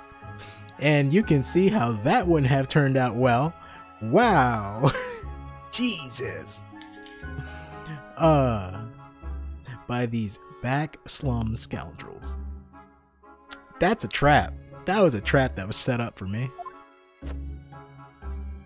Oh man. Woo! That's not a good one. Now then, relinquish my overcoat.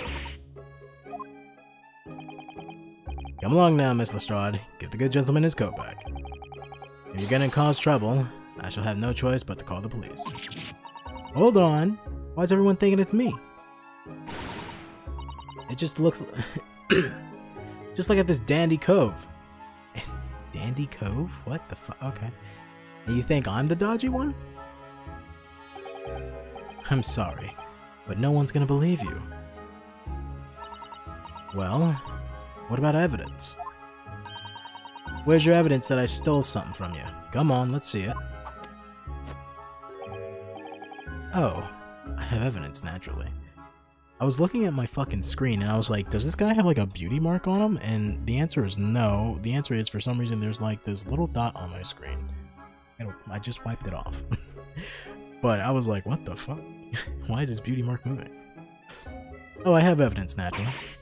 You what? Alright, then what's the evidence? Evidence that the article Miss Lestrade redeem actually belongs to this gentleman? Of course. We need only consult Mr. Mr. Windibank's ledger to know the truth. We'll be able to look up the name of the person who who, de uh, who deposited the article in the first place. Yeah, brilliant. I'm very sorry, but I'm afraid that won't be possible. And why the fuck not? Oh? I never ask customers' names. That's a strict policy of mine. But why not? Well now, as you can imagine, some of my customers have circumstances to consider.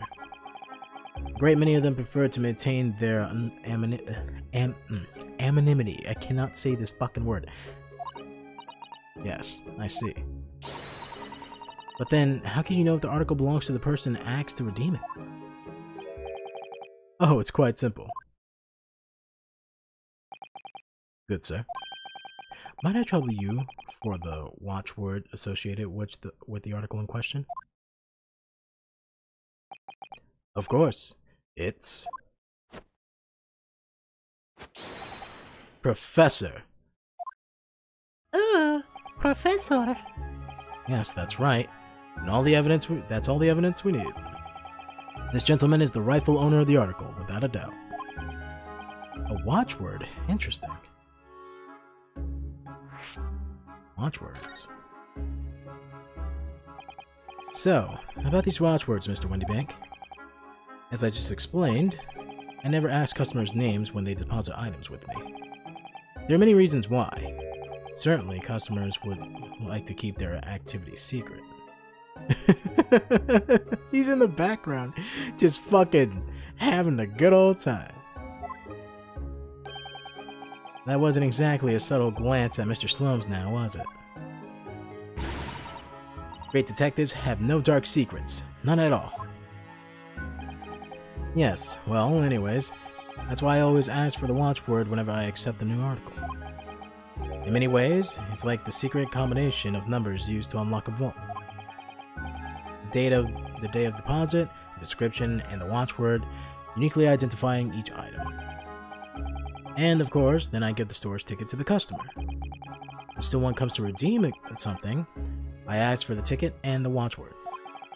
And if someone tells you the correct watchword, you return the article. That's right, sir.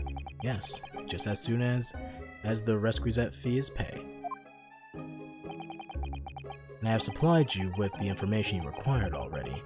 But for the for the um, avoidance of doubt, the article in question is an overcoat, deposited two months ago on 15th of February, with the watchword of Professor. Okay, wait a minute. So if he goes through that whole song and dance to make sure that he's getting the right items out, then why did he give it to Lestrade to begin with? Wouldn't she have to have that information as well? All perfectly correct information, sir.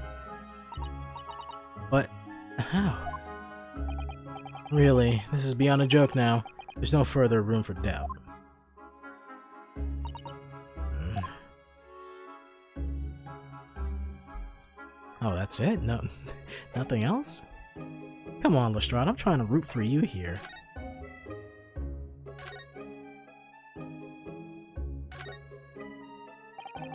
Excuse me, but who are you? One would expect one would expect the fuck. I can't. I can't even. Damn it. One would expect the inquirer mm, inquirer to introduce himself first. Though clearly you are not British, so perhaps our ways are foreign to you. Oh, sorry, yes. We're from the Empire of Japan. We're studying here. Oh, yes, Japan. I've heard I heard talks of the place. Oh my god, he started dancing. Its inhabitants live a some live on some fiery brown colored soup dress. Wait, what? Its inhabitants live on some fiery brown colored soup dressed up with exotic spices. What the fuck are you smoking?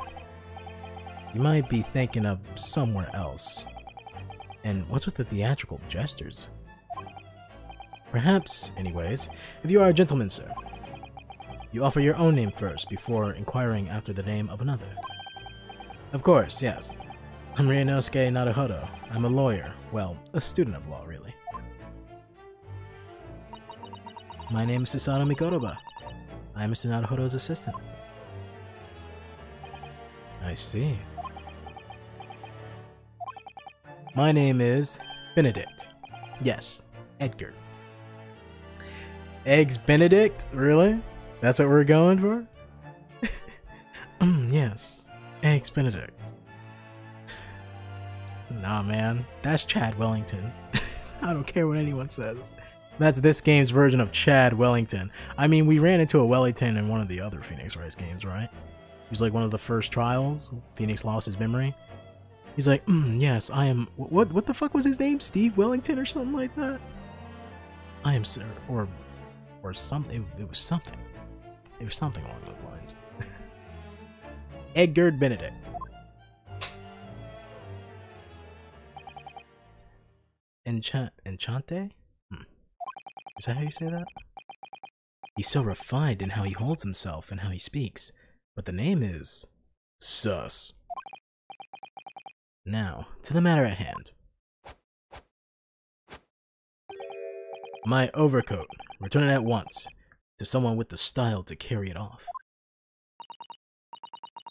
Every move he makes, every breath he takes, I can't stand watching him.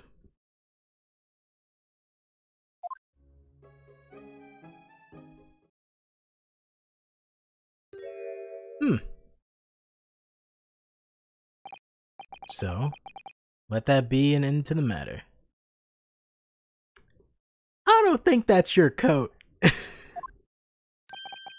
and thank you for your uh, thank you for your wait what? And thank you for your custom? Really? That's how you say that? All right. Thank you for your custom, Mr. Edgar Benedict, sir. You know, it's the white top hat that ruins it. With such reasonable rates of interest, I may even decide to come back. No. That's why I hate grown-ups. I actually think it looked better on Lestrade. I like the black and green. Just cause I'm a diver, everyone thinks that it makes me a liar. The contents of the coat's pockets, if you please, broker. But of course, sir, here's the disc for you. Just this one? Pardon, sir? Pardon? I was expecting another.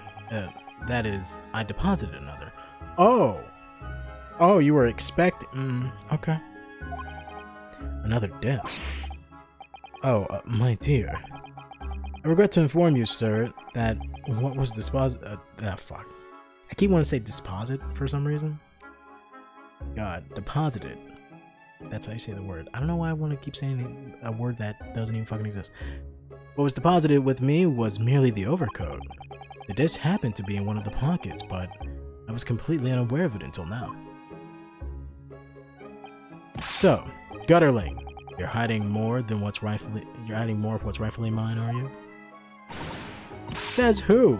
I don't know nothing about it. Very well. Then I shall bid you farewell. Say goodbye to style. Say goodbye to style. Wait a minute. That disc. It's mine.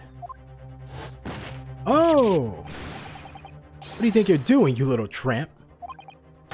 You've you've drawn blood, you filthy animal. Oh my, yeah. There's blood on the disc is because of all those sharp little bumps. The man must have scratched his finger on them. I found it first, alright? I mean, it belongs to me old man. So you're not having it. Boy, you, you take it. Me? If I hang on to it, they'll have they'll have it off me. They'll have it off me again. So you keep a hold of it, okay? Miss Lestrade, I you're making me accomplice to a crime here. I'll get deported. Why is this so important to her? The music box disc has been entered into the court record. Or, as I like to call it, into my pocket. You there. In the black livery? liver, what the fuck? Livery? Livery? Hand the dicks. Hand hmm, the dicks. Yep. Yep, I said that. hand the disc to me at once. Hand the dicks over to me at once, please. No, don't. He's lying. Grown-ups are all liars. But I'm a grown up. What do I do now? How am I gonna resolve this? I'll tell you how to resolve it. Oh shit. I'm getting the fuck out of here. We gotta go. And now I'm free. And now I can just leave. Head back home. No one will ever stop me. Alright, I have returned. With the disc in hand. uh, I'm choosing her side. Wow, Miss Lestrade really look really looking daggers at the mysterious gentleman. I need to do something to calm this down before she loses control and attacks him again. Well, how the fuck am I supposed to do that? Grab the gun!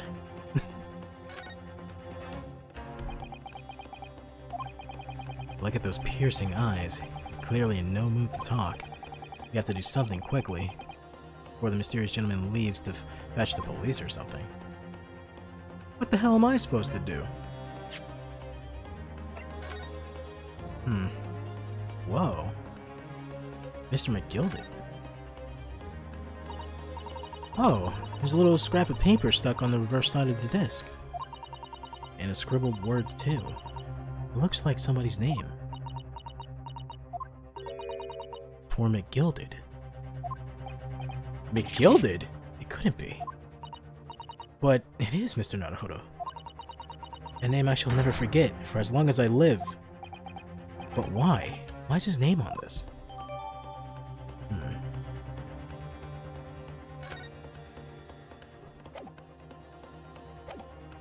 Mr. Broker! Clearly at a loss here. Wait, where the fuck is Sholmes in this situation? Aren't you still over here? Help me, buddy! Damn! Uh, Mr. Sholmes? What are you examining with such a keen interest there? As you enjoy a bar, uh, as you enjoy a bar caramel, I see. What? Oh, I thought he just left. So, you found me at last, Mr. Naruhodo. Sorry? After that young pickpocket see, see me on my way, I was forced to lurk in the shadows. Cruelly ostracized as the rest of you partook in a jovial atmosphere of fellowship. I had nothing to occupy my mind, but was too ashamed to let society see what my downfall had done to me. So feign, so feign mock interest, I pretended to examine the tedious trinkets in the desolate, in a desolate place. Whilst, whilst as you shrewdly observed, gnawing on my gnawing on my only friend I've left, the seven the seven percent solution of caramel. What the fuck? Why are you so depressing? Pray, did you claim to understand the depths of my despair, Miss Naruto? But how could you? I was so lonely, so desperately lonely. I need to feel the touch, the warmth of another. Then why on earth didn't you rejoin the conversation? Things have gone from bad to worse here, you know. Yes, I haven't heard much of your conversation. Or rather, in my craving for human contact, my ears devoured every word that was uttered. You really were sad, weren't you? Poor Mr. Sholmes. Don't encourage him, Susato. What the hell? It would seem that my my inference my inferences are correct. Oh, surely you're not about to tell us. It's time for introduction, right? That you saw the entire case once again. My dear madam, sometimes I wonder, were my genius for deduction to be com com mm, common dested. Yeah, that's the word. I think so. How much could I pawn it for? Seems Mr. Slow has had another another of his flash of inspirations. But who knows? If if it will if it will help to resolve the situation between Miss Lestrade and the mysterious gentleman. What's the right thing to do here? Let's listen to it.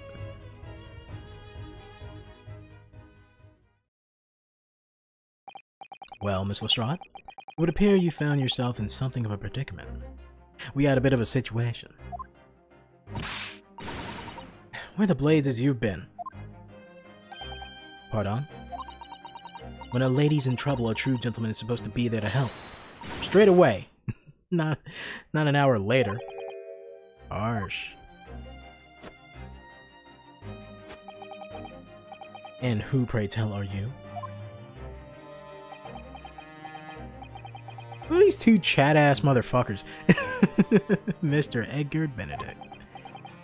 You have, in my eyes, a veritable. Mm, a, ver a, vari a variability. I can't even say the fucking word. Damn it.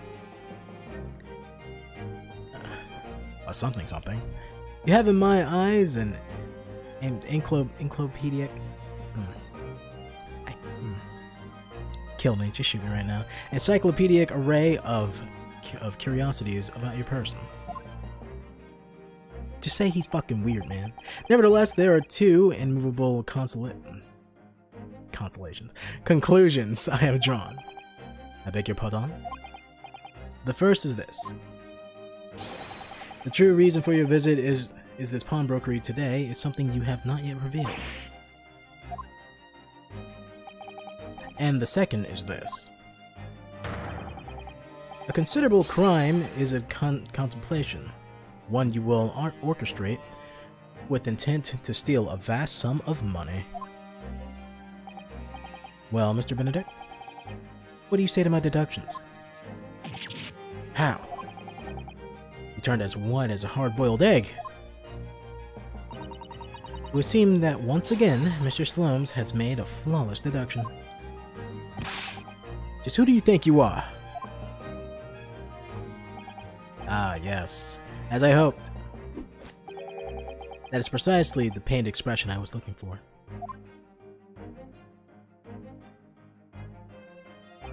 So, shall we begin? The time has come for yet another of Herlock Sholmes' logic and reasoning spectacular. The Great Deduction. The game is afoot. Topic 1 Mysterious Man's aim. First of all, we must ask ourselves, on what business do you venture to this pawnbrokery today? You claim to have to follow this pickpocket here, haven't had the redemption ticket stolen from you on the streets. But that is most certainly a lie. The real truth is something quite different. He's holding a fucking piece of Where did that come from? As revealed by what you are holding in your hand. Yes, what brought you to this shop in the first place is this staff recruitment flyer. The piece of paper, if in your hand, is a staff, staff wanted advertisement from this very shop. Yet, even the most unobservant would soon realize that this man of your appearance has no need of such employ. In other words, there is some ulterior motive for your actions. Ah, the cane, which you unwittingly clutch to your person, exhibits an incontrivable contradiction. What, uh, what utter rot! I've had, I've had, had this cane for years. The contradiction of which I speak of, of course, is the missing, the missing ferrule. I don't even know how to say that. The end of the walking cane would be determined with the metal ferrule. Ferrule? Ferrule? Mm. Ferrule to protect the wooden tip. And yet, detailed analysis shows the wooden tip of the stick has been utterly bare. Therefore, there is only one conclusion. The rod that you hold in your hand, which appears to be a walking cane, is in fact no cane at all. It is a sword. You recoiled, sir. Something wrong? I will... I... Uh, and in your recoiling, you've been involved you in, mm, inadvertently facilitated the answer of the next conundrum to present itself. You mean that ripping sound? Namely, with the truth behind the rod you bear. Yes, your reaction betrays the truth. The handle, which you evidently would like to conceal, is the key to understand this riddle, you see. From the moment I saw it, my suspicions were aroused. What walking cane demands such a stout handle? Amused eye? Amused I? What the fuck? Amused I? but of course, as I said, this is no walking cane. No, that rod.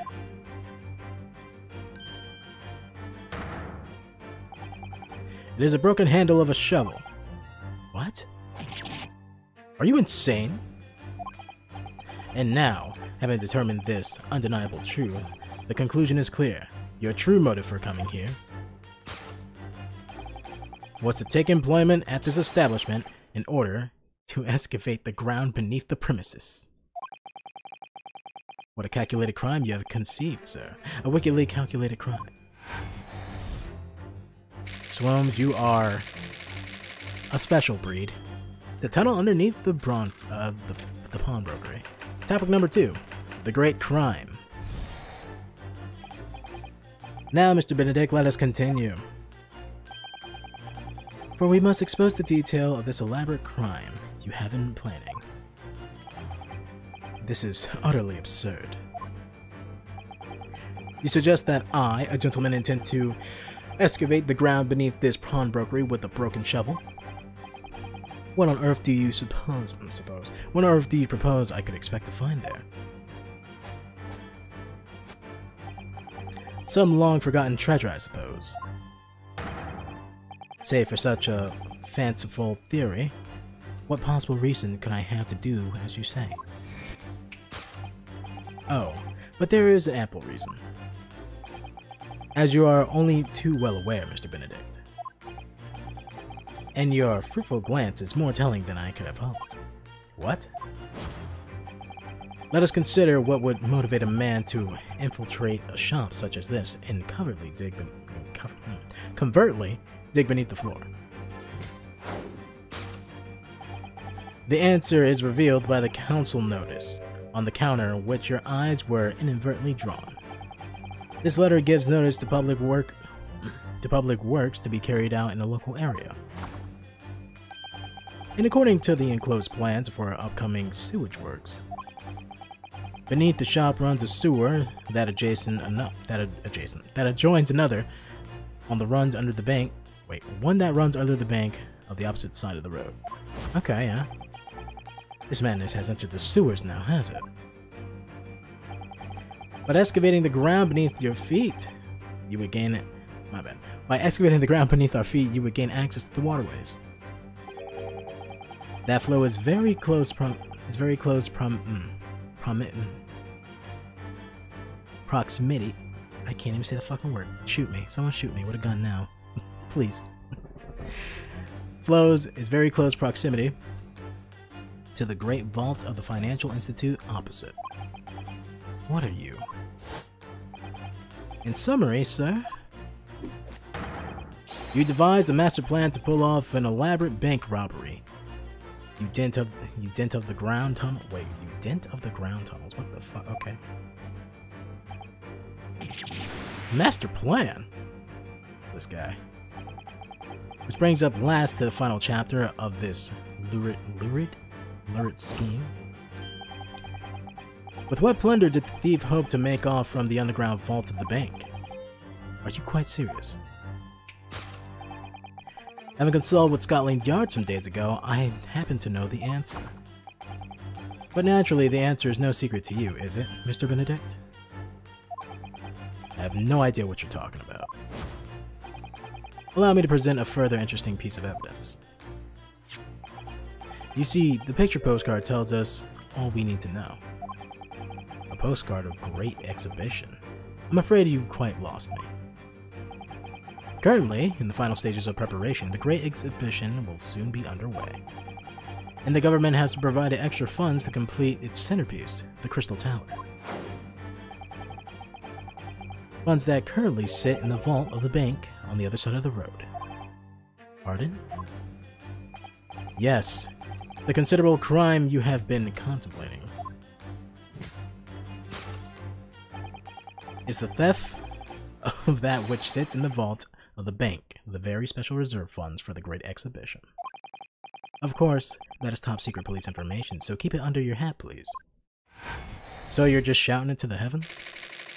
Okay. Alright.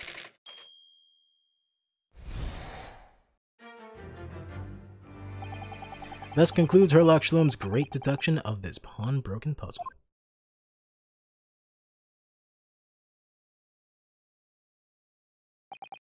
Um, Mr. Sholmes.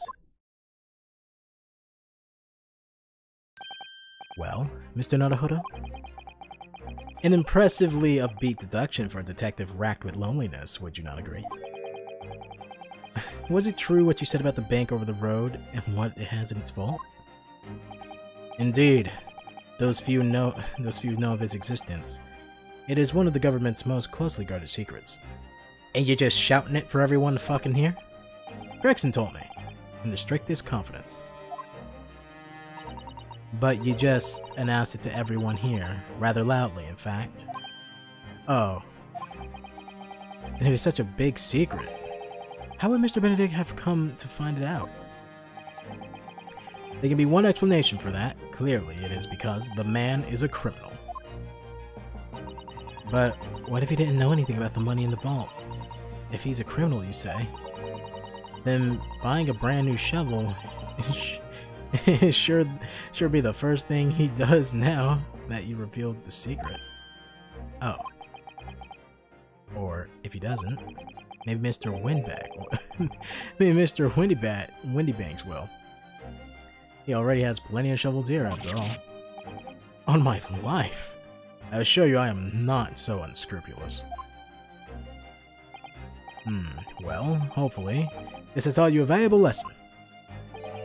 Sensitive information must be handled with the utmost of care. You're, you're a fucking moron. One can never be sure that someone privy to secrets won't disclose them, and once the word is out, it's out. Perhaps I'll think twice before confiding in you next time, Mr. Sholmes. An excellent idea, Mr. Naruhodo. An excellent idea. you fucking asshole. Well then, Mr. Naruhodo, you know what to do, I'm sure. Yeah, Let's listen to the great deduction again and see what the hell is wrong with it. Very well then, let us start once more from the beginning. Of Herlock Sholme's magnificent logic and reasoning spectacular. Let's get it over with. Course correction. Hold it, Sholmes. Alright. I'll tell you right now, me, myself, I haven't figured any of this shit out, but we're gonna figure it out here. Okay. You have followed the pickpocket here, having, okay, claim to have followed the pickpocket here, claiming you've been robbed. But then, now you're a liar. We can tell that you're a liar because, as revealed, as revealed by this, yes, what you bought in the shop in the first place, the flyer. So, by Mr. Sholmes's reasoning, Mr. Benedict came here in order to apply for a job so he could dig down through the floor. Yep, in an attempt to tunnel into the sewers to gain access to the money in the vault in the bank across the road. God damn it, that's a mouthful. But he wouldn't get very far with a broken shovel, would he? No, I think it's fair to say his motives lie elsewhere. The question is where? What did Mr. Benedict... why did... Why did... Hmm, my bad. What did Mr. B what did bring? Hmm. What did bring? What the fuck? What did bring Mr. Benedict here at the? That that okay. That is a weird way to word that. All right. What would bring him here? Let's see. Recruitment flyer.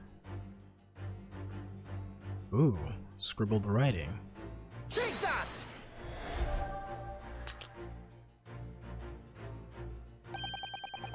Those notes were scrawled by someone famous, as, su and as such, are worth a considerable sum of money. The fact that you handled the paper on which they are written with gloves only proves my theory. So you came here today with the intention of pawning it for as much as the broker would give you. What spectacular, what spectacular contrived logic led you to this mindless conclusion?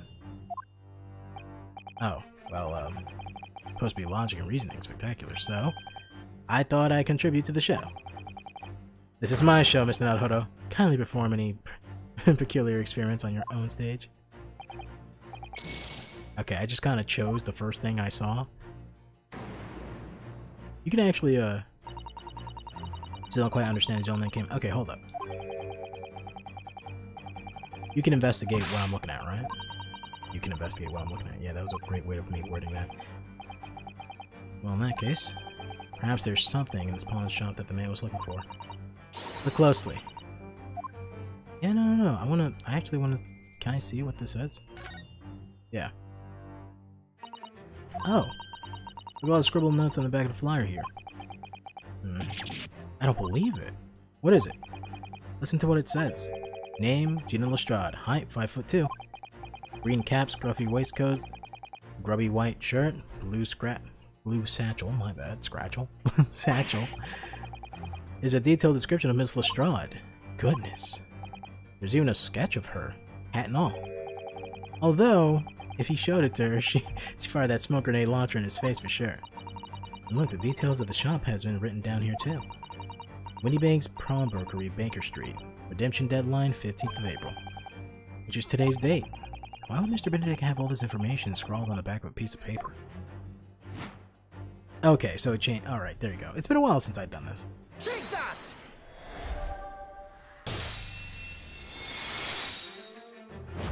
Correction. Yes, what brought you to this shop in the first place is the information about Miss Lestrade. Quite so, my dear fellow.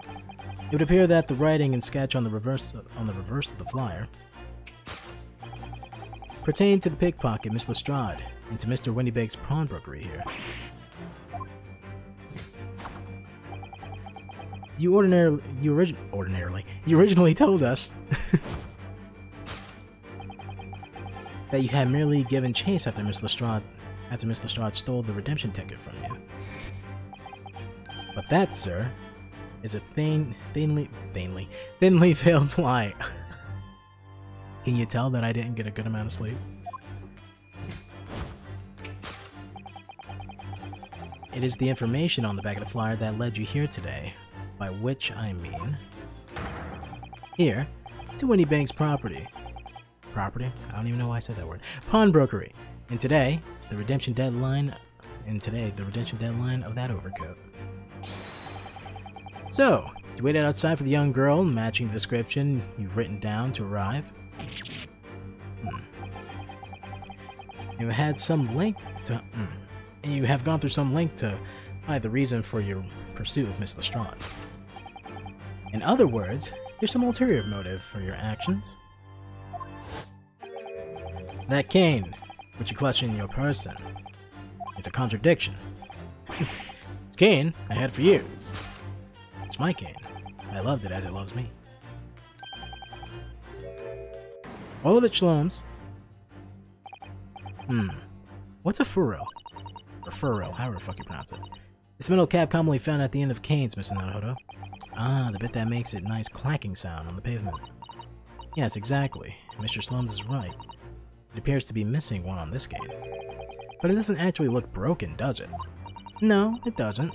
Though the gentleman certainly did recoil when Mr. Sholmes identified the cane as suspicious. In other words, there's some secret about the cane that Mr. Benedict would rather we don't know. Alright. Initialing. Look here, Miss Susato. There's some letters on the handle. Ah, yes. Those must be initials, I think. In the West, it's customary for people to engrave their belongings with first letters of their names. So, Herlock Sholmes would be HS, you mean? That's right. And the initials on the cane, obviously. Oh. AG. Ah. Why would it feel as though it's not quite right? Okay. We have engravings. Let's just make sure we check the check the full full cane, you know, check along the shaft. You know, because I don't want to fuck it up. Correction. This contradiction of which I speak, of course, is the initialing. A most astute observation. What did you say, Mr. Eggs Benedict? We are led to believe, sir, that your initials are EB. Yet, in the most possessive manner, you have in your graphs a cane bearing the initials AG. An incontra- mm, incontra- mm, incon- mm, I can't say words. In- incontroverable, incontrivable, whatever the fuck. Big ass word. A contradiction indeed. Would you not agree? No, you're wrong. This cane isn't. You said before that you had the cane for years. Mm. So don't try and tell us that you borrowed it from a friend or found it in the park. In short, though you hold yourself to be a gentleman, you have withheld your true form. Huh? You recoiled, sir. Something wrong? Ah, and you're recalling you inadvertently facilitated the answer to the next conundrum to pers- uh, whatever fuck. so many words, man. Let's get to the next part. Let's just do it. Can't you tell that I'm tired? the handle which you inadvertently would like to conceal is the key to understanding the riddle. Let's consider the bare bones of what happened here. Miss Lestrade redeemed, uh, redeemed the fine-looking overcoat, and now a mysterious man has appeared introducing himself with a fake name, and claiming that, that the overcoat belongs to him. But we know that he's actually that he actually identified Miss Lestrade from a written description, which suggests that everything he has told us is untrue.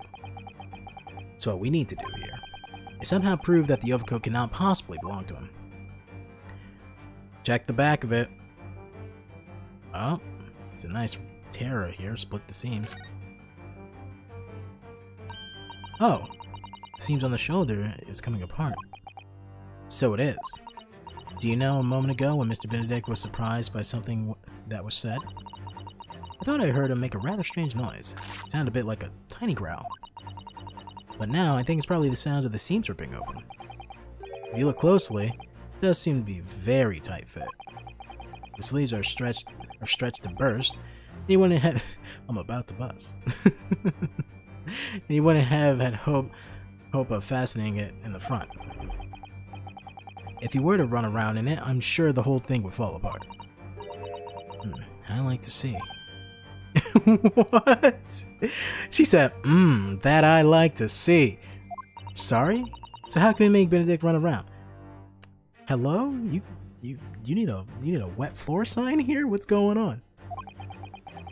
He's really giving this some thought. She said, mmm, I'd like to see some of that. like, okay. Take that! What the hell?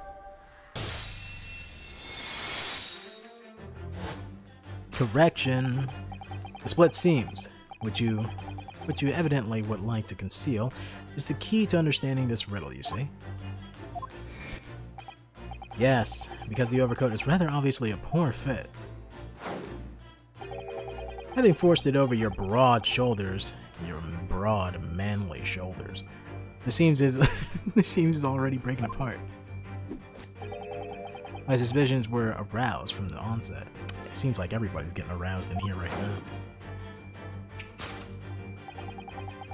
When you so when you so boldly lied about your name, so boldly wayla waylaid this pickpocket, waylaid. Yeah, we're going with that. That's what we're going with.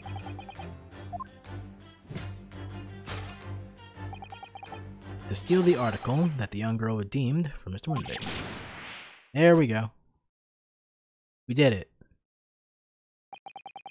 But what really irks me is this. The considerable crime, the considerable crime, I initially imagine has been considerably cur uh, cur curtailed. I can't even say the words. I'm done. I'm done for the night. I'm done for the night. The stream like fucking stopped itself. the goddamn stream crashed, took all the energy I had out of me tonight. Now, Mr. Benedict, let us continue. For we must exploit, exploit, expose the details of this elaborate crime. This is utterly absurd. Some days I have good ones. Some days I have good times when I'm reading dialogue. Other days I'm just fucking over every single word. Have you forgotten that I redeemed the article in the proper manner using the watchword? Had I not been the one to mm. I still want to say deposit for some reason. I don't know where I got I don't know where I got that word from. Whatever. um, had not been the one to, uh, to fuck, damn it. Deposit. The word is deposit, but for some reason I want to say disposit. deposit is first place.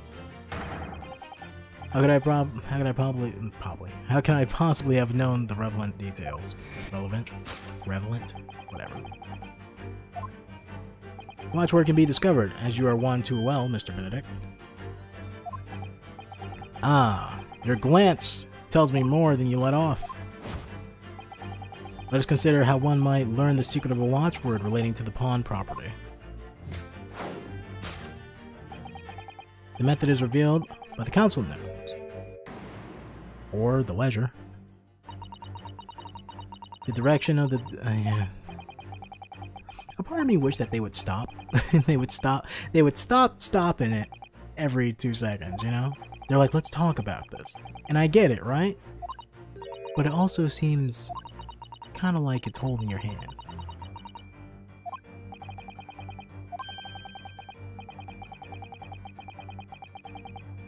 If you didn't, if you did know the word, Mr. Winnibags would allow you to redeem the article whether it's yours or not. So the question is, could this gentleman have found the watchword or somehow? I mean, the ledger's open, right? There's also this right here. Look at this, Miss Susato. Ah, it appears to be the memo Mr. Winnebag scribbled for himself. Let's see. What does it say? Oh, Professor. Yep. Mr. Windibanks must have made a note the watchwords customer gave him right before their eyes. And an alarmingly clear script as well. Oh dear. I don't know where to look. Who knows what other secrets I might see. Alright. that! That's a pretty easy one.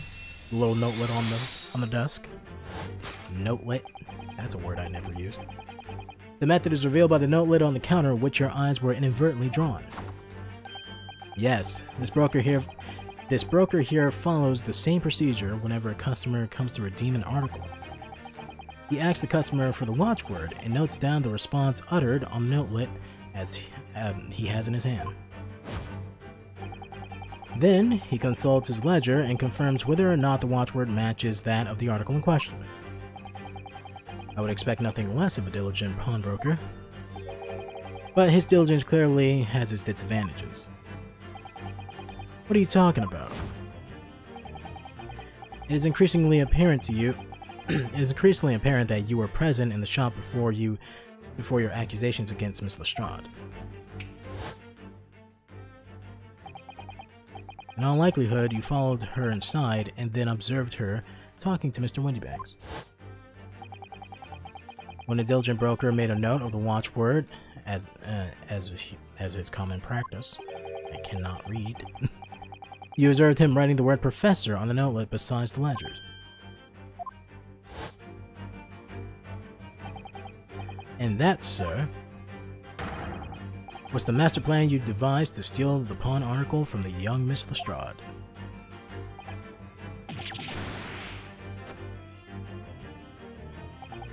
Which brings us to last the final chapter of this scheme.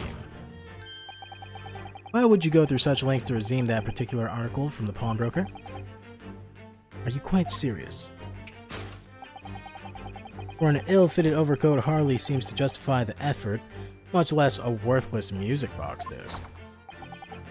But naturally, you have very good reason to make them yours, didn't you, Mr. Benedict? I have no idea what you're talking about. Allow me to present a rather interesting piece of evidence. Evidence. You see, the picture postcard.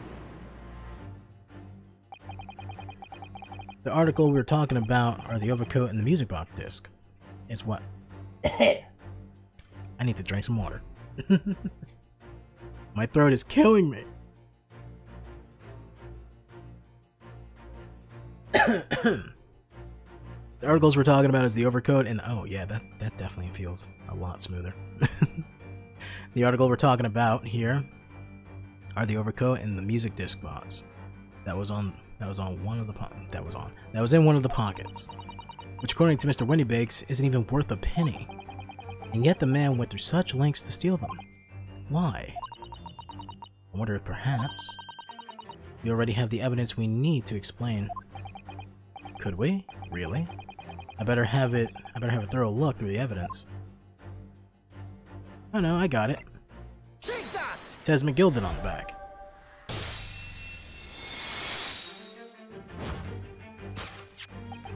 You see, this music box this belong tells us tells us all we need to know. What's that on the back?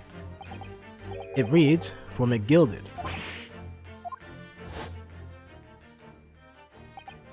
Ah, Mr. McGilded, Magnus McGilded, the man with no neck. The unfortunate philanthropist who perished in curious circumstances at the Old Bailey two months ago. That is a mouthful for the unfortunate philanthropist who perished. a prominent man in London, though his loans, though his loan mongering demonstrated a distinct lack of of, scru- of scru- scribbles, scribbles, scribbles, scruffles. So, you're an associate of his, are you? Or perhaps a subordinate? Mr. McGilded was a man of unusual small stature, in fact. He was precisely the right size for the overcoat that you squeezed yourself into. Your true identity remains shrouded in mystery, Mr. Eggs Benedict. But the final conclusion here is crystal clear. The reason you came to this pawnbrokery today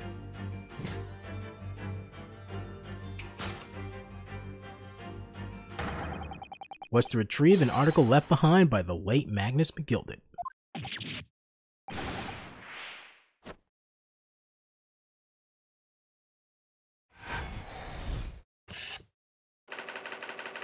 to acquire an item deposited by Mr. McGilded.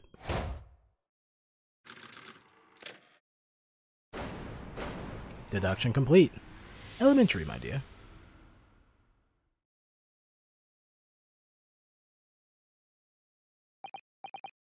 Well, well, Mr. Magnus McGilded. Not a name I expect to hear in these circumstances.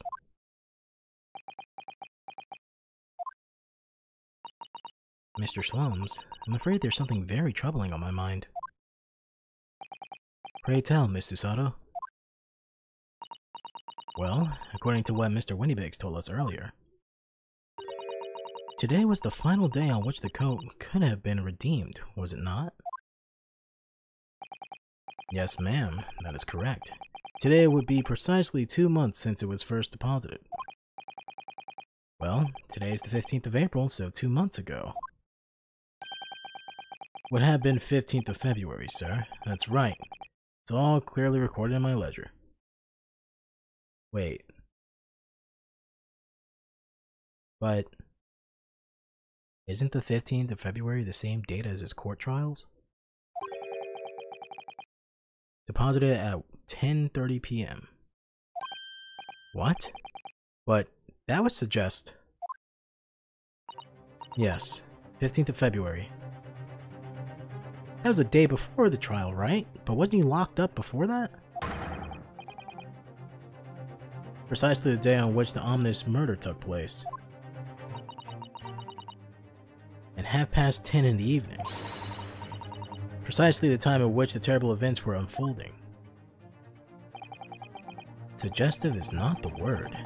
It would seem the matter is entirely beyond coincidence.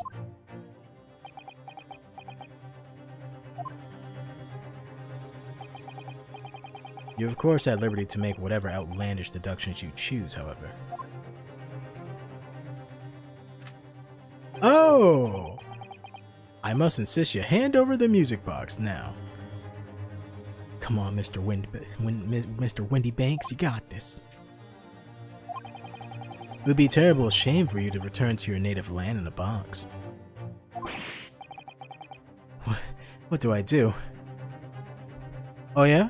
You're gonna shoot me in front of all these people? Fuck you. There's some things a man must protect at all costs. This disc is one of them. This may, be, this may well be one of those things. Then again, it may not. Hold it! Hold it, sir. Mr. Windibank. This is my shop. I can't allow any harm to come to my customers. If that were to happen, I should have taken my own leg. Eh, don't point the gun at yourself, genius! Mr. Windibanks, no! Alright, that's enough. Please tell me there's police officer here. Yeah! Gregson! Inspector Gregson. Inspector? Oh, Inspector. That's right, Sunshine. The alarm was raised uh, was raised on one of your dedicated emergency lines. So we got here as fast as we could. Now what's this all about? Oh, praise be, here at last. I was a moment away from forfeiting my own life in this very establishment. Are you gonna arrest him? He's pointing a fucking gun at me. Don't let him put... It seems you have the upper hand. He was gonna kill me! Right. You lot have got some explaining to do. I don't appreciate being bothered by some... some petty... from petty... what? Argy bargy? Argy bargy. Petty? Listen, Susato may be a lot of things, but if she's Mikotoba is anything but petty, okay? Mr. Windibanks very neatly met, with his end. Wait, what? Mr. Windibanks very neatly met with his end. Yeah, by his own gun, as far as I can tell. What about me? Oh dear. And the whole and the whole of the British could wait what? And the whole of the of the British and the whole of Britain could meet with with its end if I don't get to the bottom of the case I'm supposed to be working on. What? What the hell is this case, Inspector? Spare no details, Gregson. Don't tell it to this fool. I I might have said a little too much, okay? No matter, it's nothing to do with you lot. Take him away, he almost shot me. Anyway, sir, you're gonna have to come with me down to the station. But of course, Inspector. Oh, Inspector! What? Wait, what? Did he, what? I was gonna make a joke. I was gonna go, "Oh, Inspector, you can handcuff me," but he out here made a daring escape. You know, get after him, lads. Whistle the beat officer too.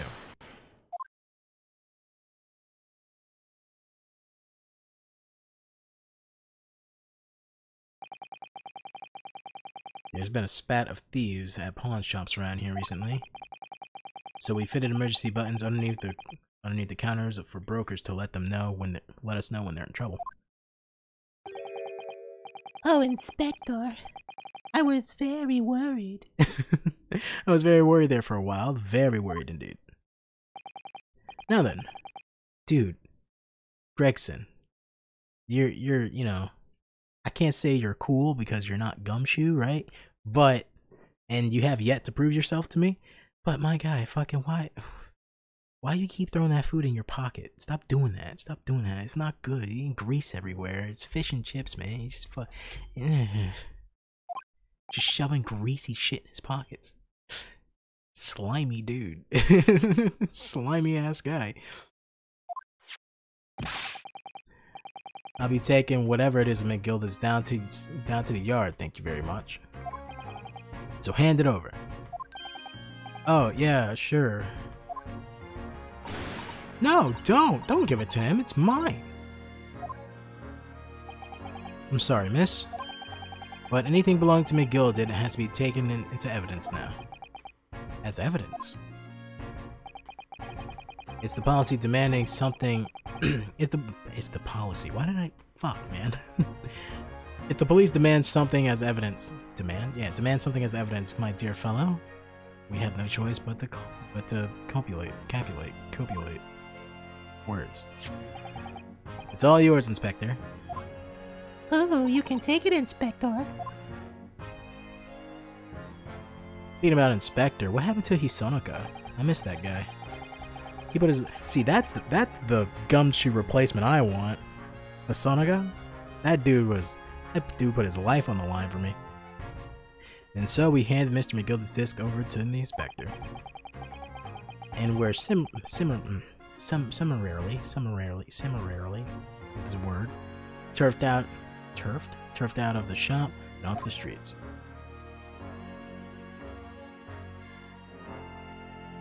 To be continued. It was kind of long.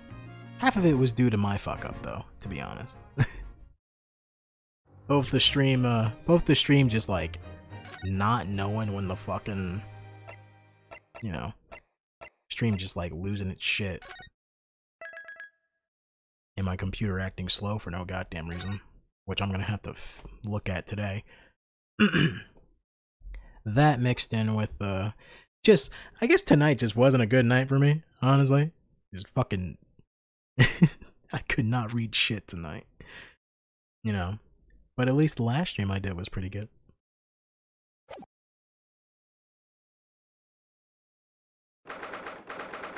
Let me check what time is it. Okay, yeah, no, definitely. well, unfortunately, this is definitely where I'm gonna have to end it at for now, anyways. Maybe later today if I have enough time. I gotta clear my throat. Maybe later today if I have enough time to uh come back and do like an hour or two, I'll do it. Right?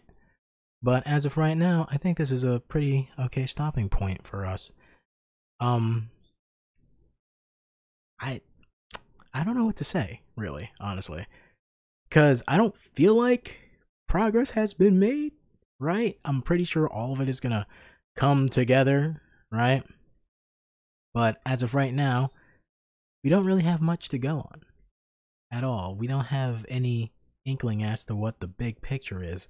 Yes, McGilded's involved and his death is involved, and probably the death, probably the man who died inside the uh inside the um call it the uh the carriage he was probably important in some way too right and we'll learn more about um we'll probably learn more about uh you know um what you call it everyone's whole agenda and stuff right whether whether we learn why uh von Zieks is uh you know picking his battles to be with us for some reason, right?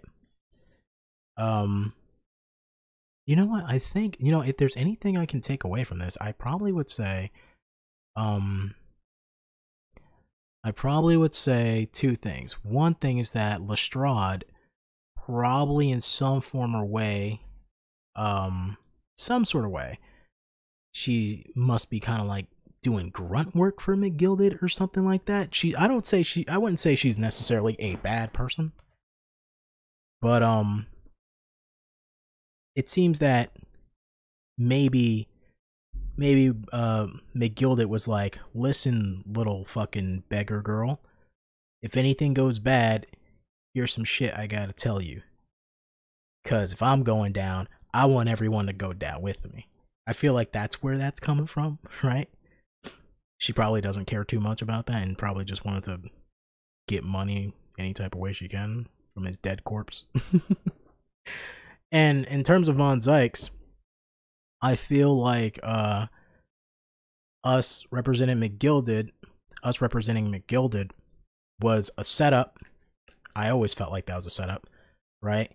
Because McGilded, right out the gate, he goes like, "Do you think I did it?" And I'm like, "Yeah, I do." I'm like, yeah, I think you, I, yeah, no, I think you're guilty, right? But my job is not to, uh, my job here is to get you innocent because that's what I'm here to do. Especially if I don't, I'll get my ass kicked out. And I feel like a part of that was we were supposed to fail, right? Which is probably why, uh, what's his name? Um, Lockhart, Lionheart, whatever the fuck the guy's name is, the, um, the the chief justice, whoever the fuck guy is, I forgot his name already. Um, I feel like that's why he chose us to do it that day, right? I feel like that he might be a little bit evil, and just by chance, um, Von Zieks probably had an inkling that Mr. McGilded was in some sort of organization or some bullshit. Something bigger is going down, so that's probably why he stepped in. And just by chance, it happened to be our trial. So then the next time we got another trial, I think he kind of just showed up to like suss us out, kind of like do reconnaissance or something, kind of like get a feel for for uh how um Ryunosuke is in court and what he does, just in case he has to, you know, look into Ryunosuke more, or um, for whatever the bigger picture is. You know, I feel like I feel like we just we're just wrong place, wrong time, right? I feel like that's what might be going on right now. That's the only thing I can kind of interpret from all this. But I could be wrong. But at the same time, I mean, I'm trying to think like I I've never been like what what's the word I'm looking for? I can be wrong, right? But my track record when it comes to these type of games, like in the um in the other Phoenix Wright games, and also in Danganronpa V3, the streams we did for that, if I'm going by how how those playthroughs turned out, fucking I like usually at the halfway point I figure out everything. so so, you know. I also still want to see where uh the swan lady comes into play. My fucking my switch is falling asleep. That's great. Where the swan lady comes into play. I forgot what her name was. It was like Bridget or something. Or I don't know. I don't remember. But all that should come together. Well, uh, hopefully it comes together. I really I really don't want this game to end on like a cliffhanger because that would be so fucking annoying. But, you know, if it does, we got the second game, right? I'm not sure when I'll do that. But, anyways, that's all the time we have for the stream today. Well, not today. Well, as of right now, anyways. What I'm going to do now is I'm going to go upload uh, one of the parts for the Persona 4 stream, right? I've been very busy this week, so unfortunately I wasn't able to upload as much as I wanted to on YouTube.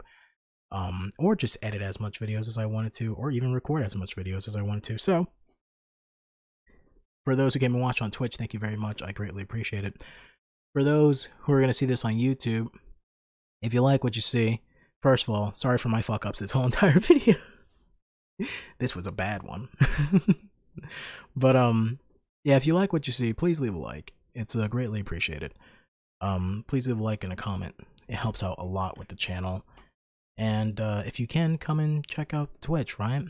Uh for those of you who want to support me a little bit more, uh, consider subscribing on Twitch, right? And if you got an Amazon Prime account, you got a free subscription through your Prime account, so you can hand that to any streamer you want. And if you want to hand it to me, thank you. I appreciate it. Uh, what else? Oh, Twitter. It's right there on the screen and in the description on the YouTube page. If you want to, I don't know, add some funny things to me or send some fan art or whatever, or show me something, you can add me on Twitter and I will definitely see that. I will definitely see that. Um, and I think that's everything I want to say, right? Um, uh, right now on the YouTube channel, along with Persona, uh, Persona 4 streams, along with those going up, is um, I keep saying the Pokemon Marathon's continuing, which it is, but I'm still waiting for some stuff for that to, so I can 100% dive into it nonstop, right? So as of right now, I'm gonna say it's on hiatus for a bit. Uh, what else? Oh, Vampire, right? That's getting uploaded on the on the YouTube. So if you're into, if you're into, like, kind of a, it's not, it's not even an indie game because it's made by Dontnod, right? So if you're if you're into like more plot heavy vampire type stuff like uh, you know Victorian age type bullshit, um, you can check that out. Right? It's not Vampire the Masquerade. Vampire Masquerade was a different playthrough. That's also on my YouTube channel if you want to watch that. But I think that's everything I want to say as of right now. Next time I'll stream is well, streams on schedule and stuff like that. And um yeah. That's it. so, as always, I want to say thank you guys for watching, and I will see you in the next video. Stay happy, stay healthy, and take care.